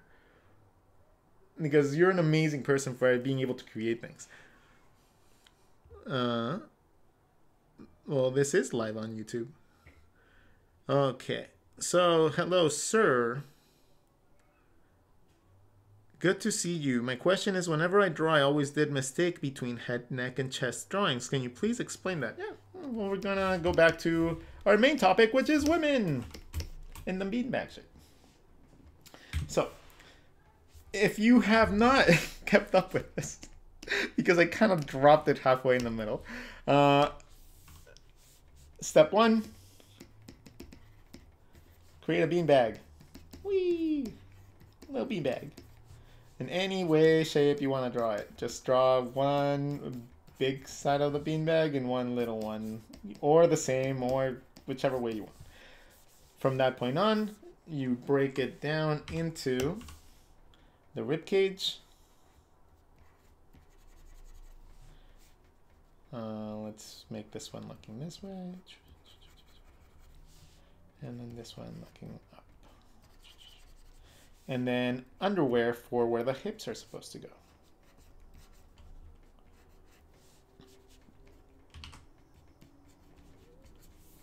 Right? So that's where we stuck right here. Now, having that, how do we apply that to the rest of the body? Well, very simple. We just start sketching like that and then we just loosely start building our character. So let's say that we just if you just want to make someone standing up i'd like to make an action line first. Something that's gonna follow the path of how the person's going to be standing. Uh, normally a lot of people call this like at the action line and it's normally where your spine is supposed to go, but I don't really see it like that. Like, I see when I draw, I see more like like blobs. So that's why this method works really well for me. So I'll start with a bean, like a line to indicate like a path for my body. And then I'll draw a beanbag that kind of goes around that side. Like, I know this is sounding very vague, but honestly, like, I sculpt my characters. So I start, imagine this is like a big pile of clay. And then I slowly start molding it. The front of the rib cage, sternum, clavicle, to the rest of the rib cage.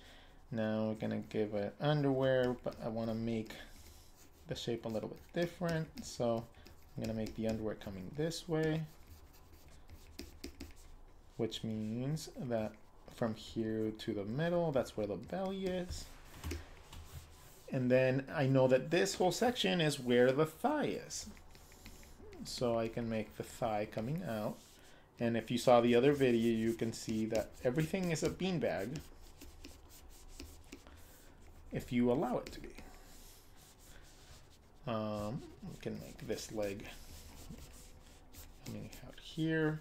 So this is the part of the underwear. If I do the other side of the underwear, would be back here. Drawing through the figures is going to be a gigantic step in your career too. Learn to draw through the figures because that's going to save you so much, so much like stress down the line. So now we have like this little cool yoga pose. Right? And then we can, in order to balance this character, if we were to go with this these proportions, right now, the weight of the character is landing around right here. Because this, if I put a shadow down here, maybe it's not touching the ground. If I flatten this out, then it's more centered, but it's still gonna be around this area. It normally where the middle of where your neck is, that's more so roughly when you're standing up. No, I guess it would be more where their hips are. So it'd still be around right here. Now, if I know that the point of balance is right here, if I start adding too many things right here, let's say that I add like both arms coming this way, it's to look a little bit out of balance. If I draw like the arms coming this way, it's going to look like an interpretive dance, which is kind of cool. Let's see that. So one arm going this way. And yes, I draw them like just stick figure arms at first. If you need to bend it, it's normally an equal bend. And the arm normally comes from where the shoulder and the clavicle meet. So you can have that generalization. It's normally pretty accurate. Okay, so that's normally how I draw arms. So, oh, I don't think you asked that. uh, then I start adding a little bit more depth. So I know that that's where the rib cage is the shoulder needs to be somewhere. It doesn't disappear, so it goes behind the rib cage. We have our shoulder right there. Our shoulder leads to our bicep. I'm noticing right here that the arm is maybe a little bit too long. So I bring it in. And it's an overlapping shape. Again, like a beanbag. It's just a slightly different shape than a beanbag, but it's the same concept as a beanbag. And then the hand. Let's make it super drastic. Ah.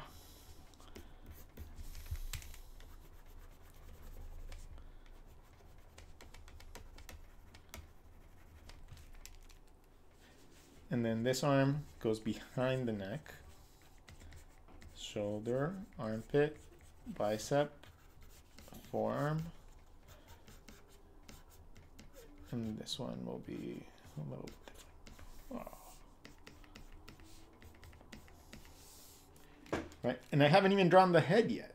So now I start molding the character to fit the exact positioning that I want. And I start refining the silhouette to make it fit what I need before I even put the head in. Now, when I go in to put the head in, this is very important. These are the elements of the head. And I'm going to draw them right here on the side. How does the head connect to the body?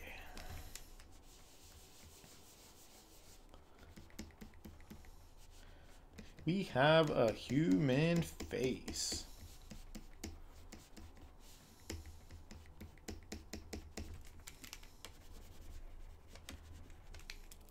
And we have our our body, right? So if we identify a couple key points in the head, which is the side of the head, the cheekbone, if you can just identify those two aspects of the head, you're going to have a very, very much easier time indicating where the neck is going to be connected to the body. Let's just draw the quick mask method. So we have the rest of the face for reference. Now, we're going to establish where our clavicle is because that's going to be a huge component when it comes down to where we draw our necks. The clavicle, middle of the chest, into the rest of the rib cage, right? If you take that little clavicle line, like little clavicle dot, and go to the bottom of your skull, a lot of the times it is wherever the ear is, right behind the ear, behind the jaw, because the jaw overlaps where the ear is. So all this area, all this, the ear is behind that. Okay? So behind the jaw, under the ear, draw a straight line or a line, depending on how your neck is. If you're just standing straight, it would be a straighter line from there to the clavicle. Now find your other ear by drawing through the shape finding where the other ear would be, find that bottom of the ear, and then track that to the front of the these are your two front neck muscles. Now, the back muscles, well, the back muscles connect from the back of your head, right? So if you see this in a profile view,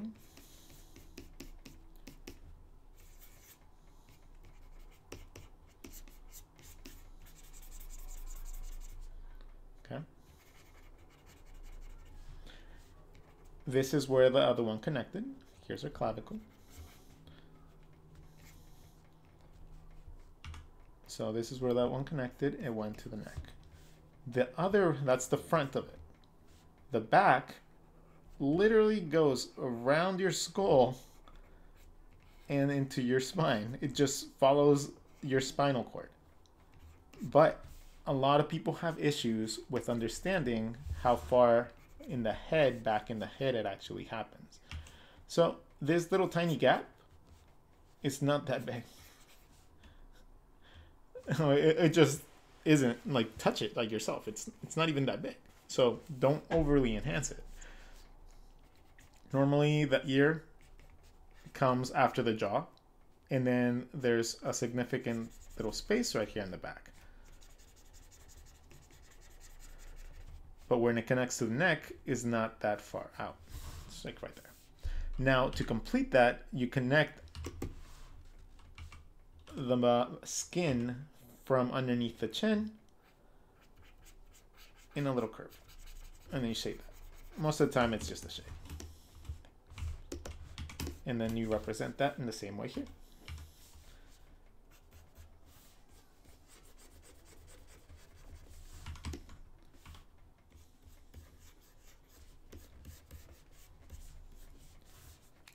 Now remember, these all have shapes. It's not just lines, remember? We're, we're thinking of things as a 3D shape. So what 3D shapes are we looking at here? Well, these are muscles that go around. They have a little bit of depth.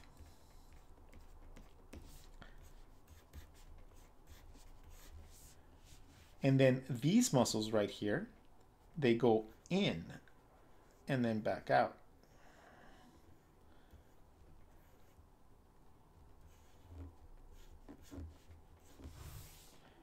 So if you were a stickler for this, these would be slightly darker because they're caving in. And then these are a little bit less. So this part that's up here, it's caved in. This would be caved in. And that's how you draw the neck. These have shape. Boop, boop, boop, right? So everything has shape. So that's how you connect the neck. So now let's connect the neck onto this little shape right here. Let's draw the head and everything. So if we know that the neck is going to connect from here, that's head, right? Okay. It's going to connect from here. We want to, how drastic, like how drastic do we want to make the post?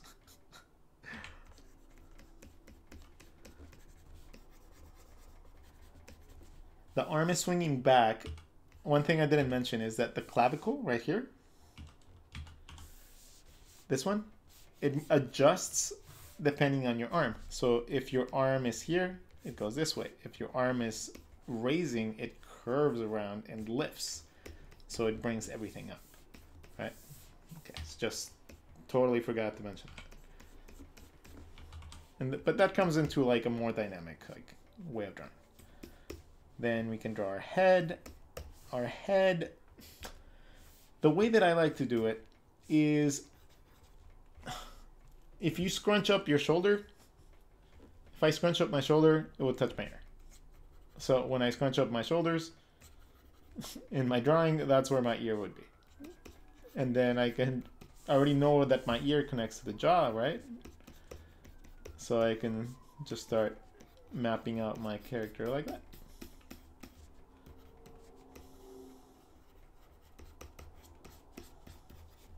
Once you find one landmark, it's very easy to try to find the others.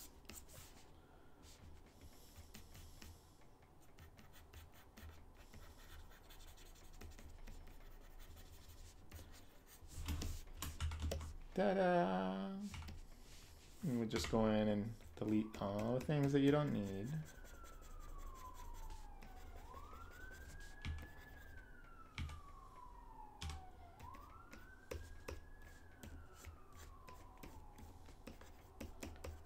And slowly refine your characters till you get a cool pose that you want. But that's how I would start with uh, beanbag Now let's do a couple, let's just sit down, talk a little bit, and I'm just gonna draw some female shapes. Like some female bodies, and then walk you guys through the process. And then we'll cut it night, because it's already been like two hours or something.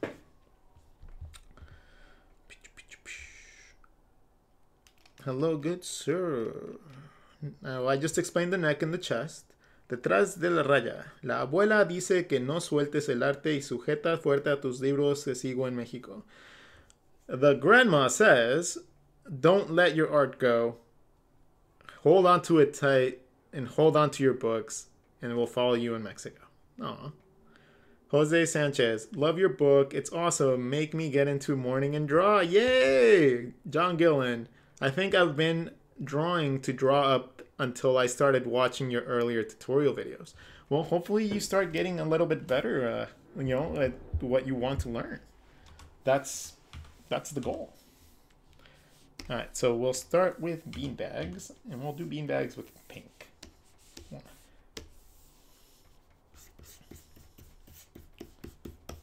And we'll do bean bags in different shapes.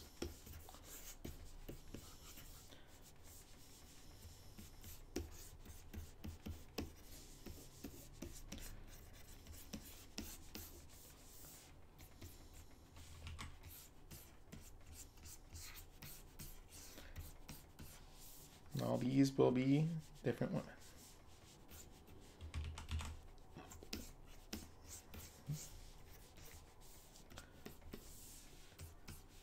So the whole point of the beanbag is also to create a lot of depth really quickly.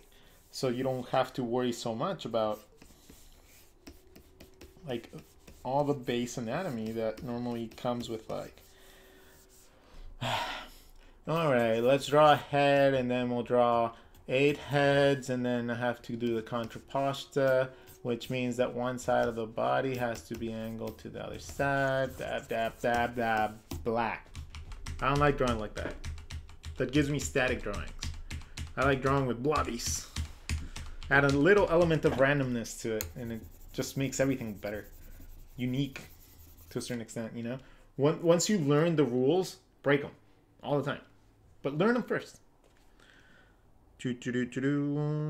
Please do share on live on YouTube. I mean, these are all live on YouTube a couple hours after I'm, I'm done with them. So, uh, I happen. okay, and then we'll do some extremes.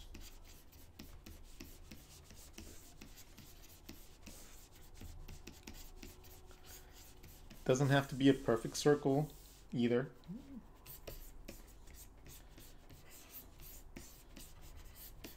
All these will be eventually like little pinups. And you'll see how.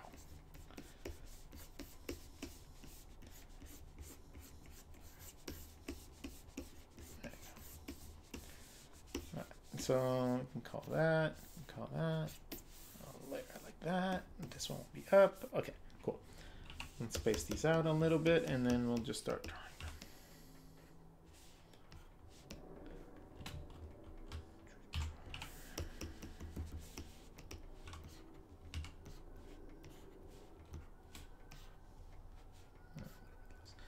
Want to give myself space for the rest of the extremities.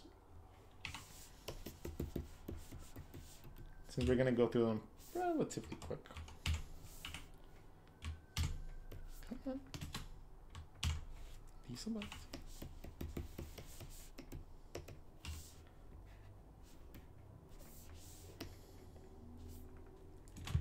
And let me just reduce this one. Okay. Cool. So how do we turn these guys into like female shapes with exactly the same methodology that we talked about right now? Uh, uh, okay, Blue Devil. I don't do social media, EA Twitter, Instagram, Facebook, etc. Is there anywhere else that the fans, students can purchase your art book? Or do you plan to make it available anywhere else? Uh, I do have a link for it. Uh, it just sends you to my Stan account.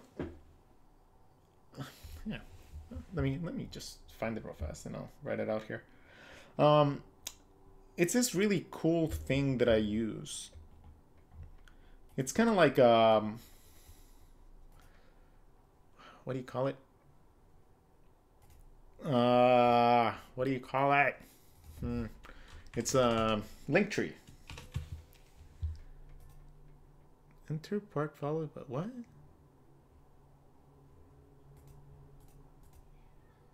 Huh. There you go.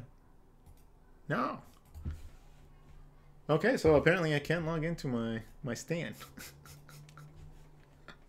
but honestly, um I'm gonna try to put it on Amazon at some point so that anybody overseas can get it, especially in Australia because it's so expensive to ship to Australia. It's so expensive. So I haven't done that yet. Like I, I just haven't been able to send stuff over there. Which is unfortunate because I have a lot of fans over there. Okay, so we have that. Then we're gonna make the rib cage in a slightly yellowish tint. This one will keep. Oh, that's not gonna be bright enough.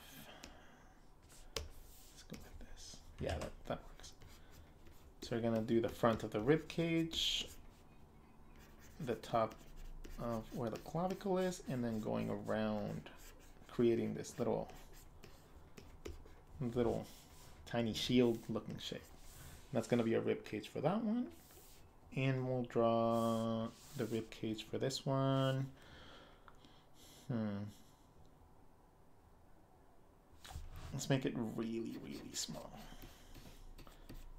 and looking down a little bit.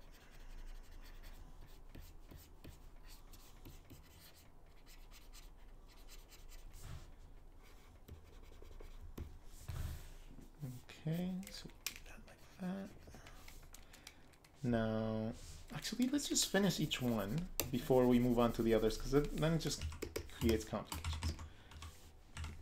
Okay, so we have that. We got to create some underwear depending on how we want our legs to be bending. I don't like just drawing flat shapes for the most part, but let's use this as a standard and then we can figure out the rest. So I'm going to give my little shapey some undies. Goes around. Now where the butt comes. Boom. So now I know that within that little shape, that's where my legs are coming out. So now I can draw some legs.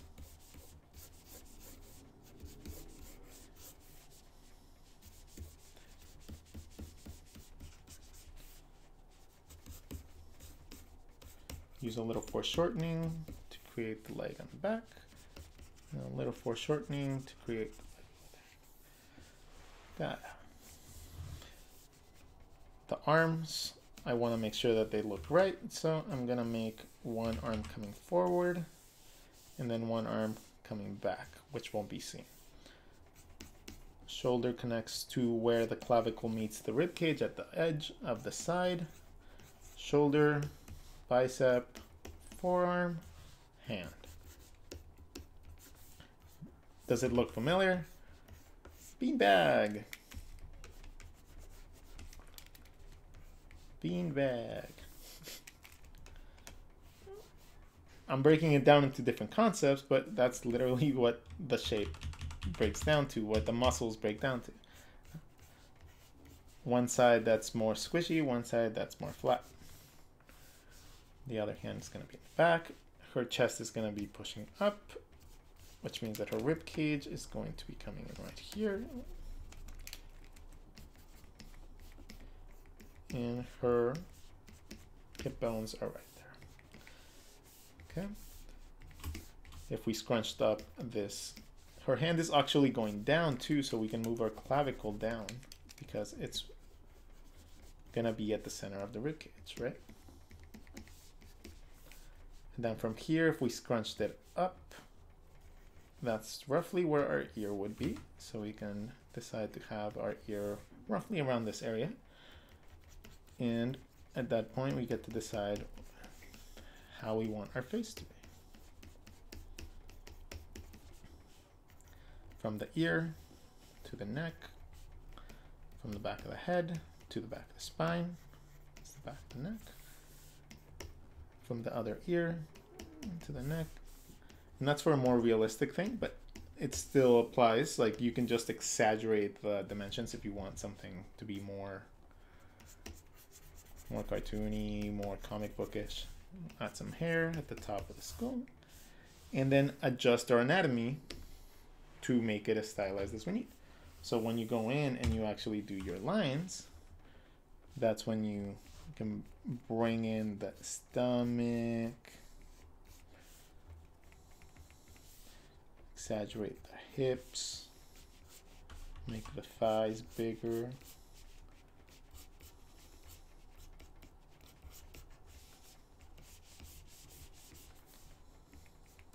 I'm just following the lines that I, I drew, so the underwear becomes whatever costume or lingerie or whatever clothing you're gonna give the character or your top of your pants. Since we drew that in, we gotta just draw the like the hip going farther. This is where the middle of the rib cage is. So since we brought it in, we have to bring it in and it curves. There's curvature to the ab muscles.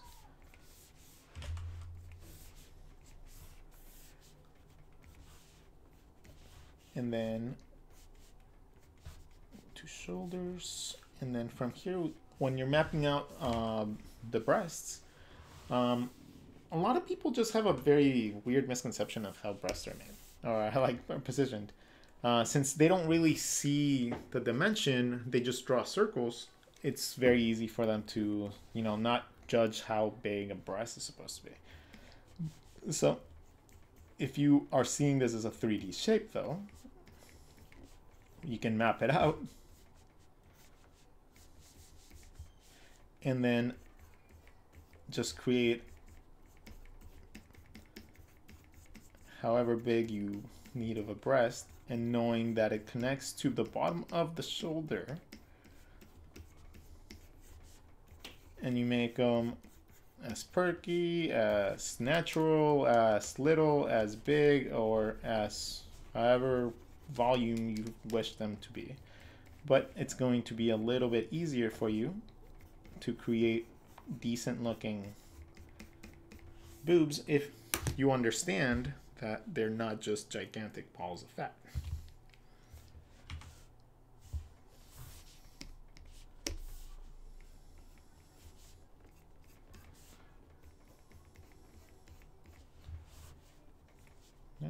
Then we're gonna follow the shoulder, forearm, relatively straight from that side, palm, hand. Super simple for now. Then we have our face.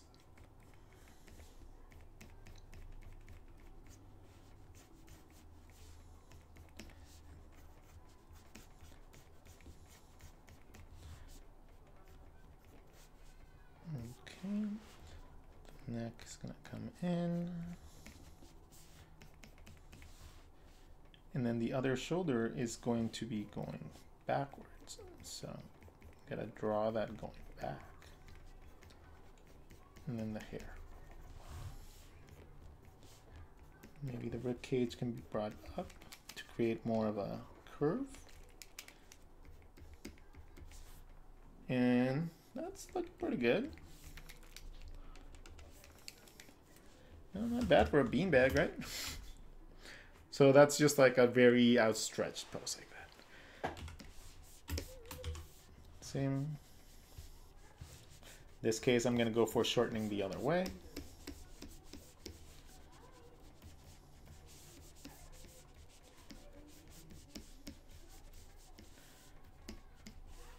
And then there's another approach that you can take if you get familiar with the shapes inside you'll start seeing shapes that just pop out from you. And you'll be able to kind of do it like a Rorschach, uh, Rorschach test. And then start seeing lines and like paths that you haven't been able to follow before.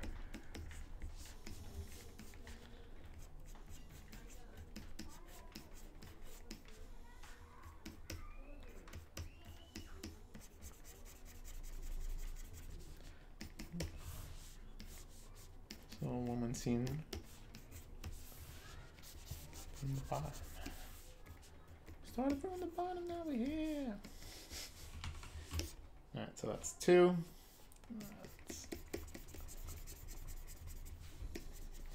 And this one, even though I approached it a little bit different, it still has the same concept within the beanbag. I just ended up using the entire shape because it just looked like such a clean shape for it. But ribcage on these that provide you with where the hip is supposed to go. And then the hip brings out where that leg is. Okay, let's go into this one. This one will just have a super long torso.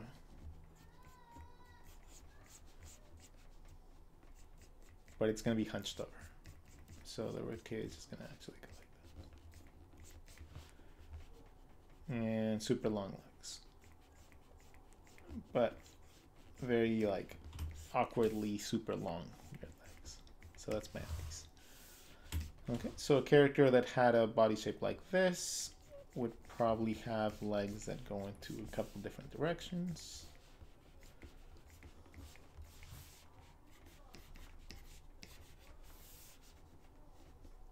Would be pretty awkwardly shaped because the thighs would be considerably larger than the rest of the body. So let's give them some calves or give her some calves. But I also enjoy drawing women with smoother lines than men. So I don't particularly like drawing very angular shapes when it comes down to my women. Some people are very good at it and they can create very, very, very sharp edged weapon women. And normally don't like to. the top of the underwear marks where the hip bone like kind of connects.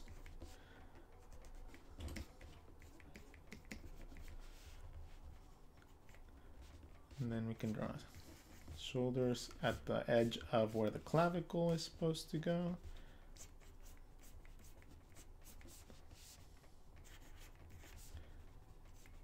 And never draw a flat shape going like up and down. As long as you just actively like consider that you don't want to have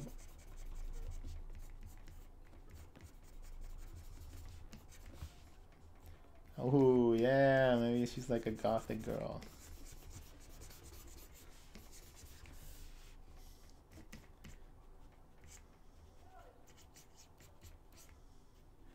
Scrunch, here, scrunch, here.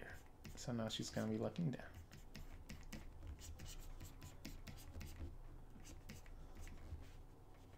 And we'll give her some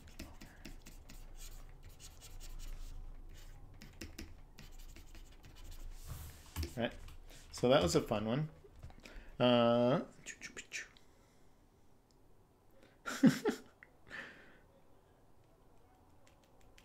okay. Deja vu, Mr. Depp. Also, last stream you started to mention not wanting digital art. Oh, what I meant by that is they don't want to see digital art. Or they, they just don't feel like interacting with digital art. That's I think that's more so the case. Uh, in this case, we're looking at it from the back. Uh, that's how I'm going to assume it. So my rib cage is going to be going around this way. This one's to be a big lady. The undies of it, that would be one side and it curves onto the front.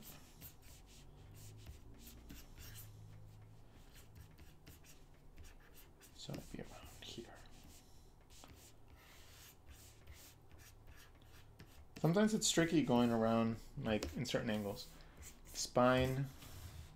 Not, since we don't map the clavicle at the back, we map we march we we map where the back of the neck would end which is the seventh vertebrae.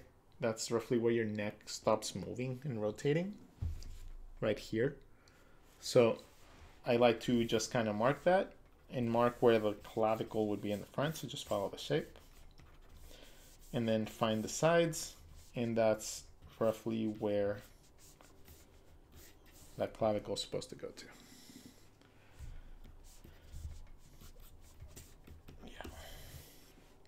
I know it just looks like a lot of scribbles, but in my head I'm seeing all the shapes. So let's just start drawing. And I still want it to look womanly. Let's give it some hips. Because we know the underwear line's right there, so one of the legs can come in right here. Add some booty to it.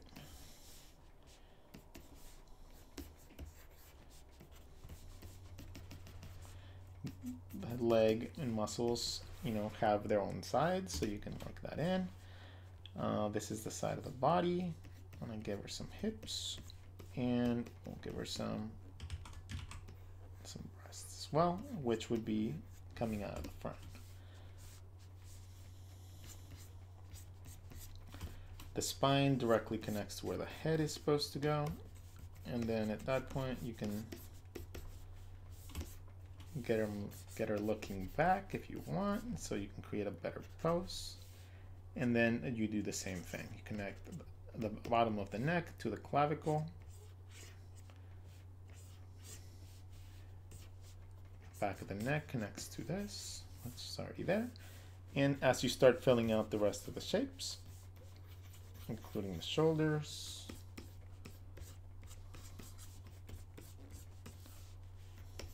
until she's covering. Ooh.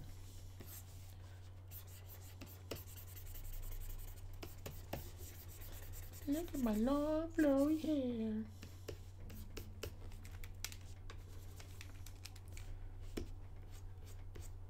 So as you can start seeing, you can just apply those elements to a bunch of different positions. Wait, what? Can you explain the foot of the foreshortened example? This one? We have the calf, the foot, knee,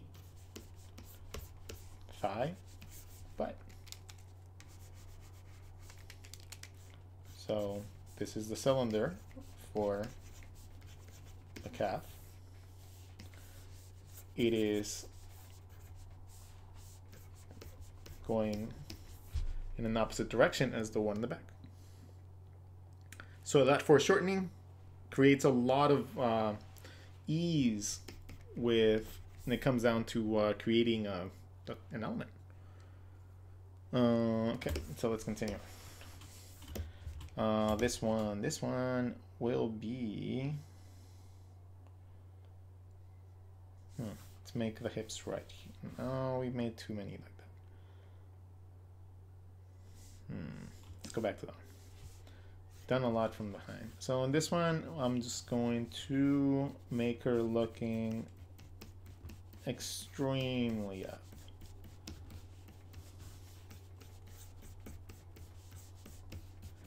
Like it's gonna be extremely up to the point where you can't even see like her face.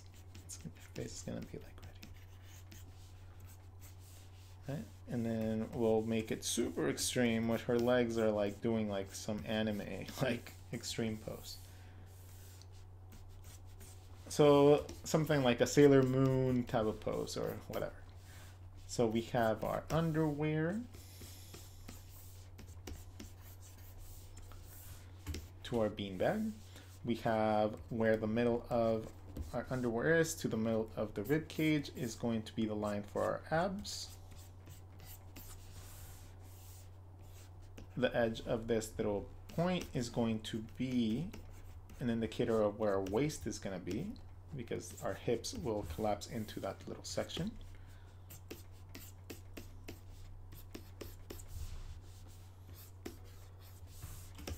And then from that point on, we figure out the rest. So if we were to push this to the extreme, I wonder if I should have done, yeah, if I'm to push it to the extreme, I need to change perspectives here. So the underwear normally would, you know, like just curl up. But since I want to push that perspective, I'm going to go around the shape and then I'm going to really draw the legs going back down, like to the point where they're like super foreshortened.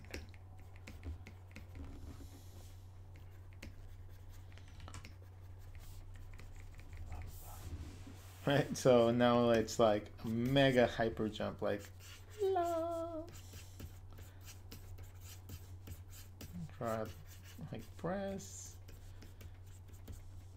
Bring in the, since we're styling it, bring in the rib cage a tiny bit. And then the arms can be doing the whole Sailor Moon thing. ah, it's gonna draw over the other one, but okay.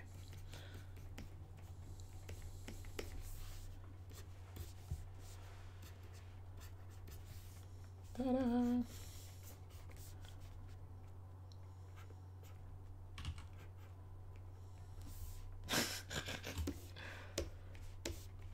Okay, so I'm starting to not feel very well, so I'm going to go take some medicine.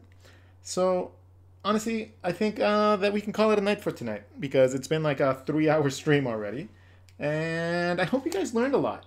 This one was a really fun one too, but overall, I'll put all these images on Instagram at some point or another with little lessons, and these will most likely make it into the book.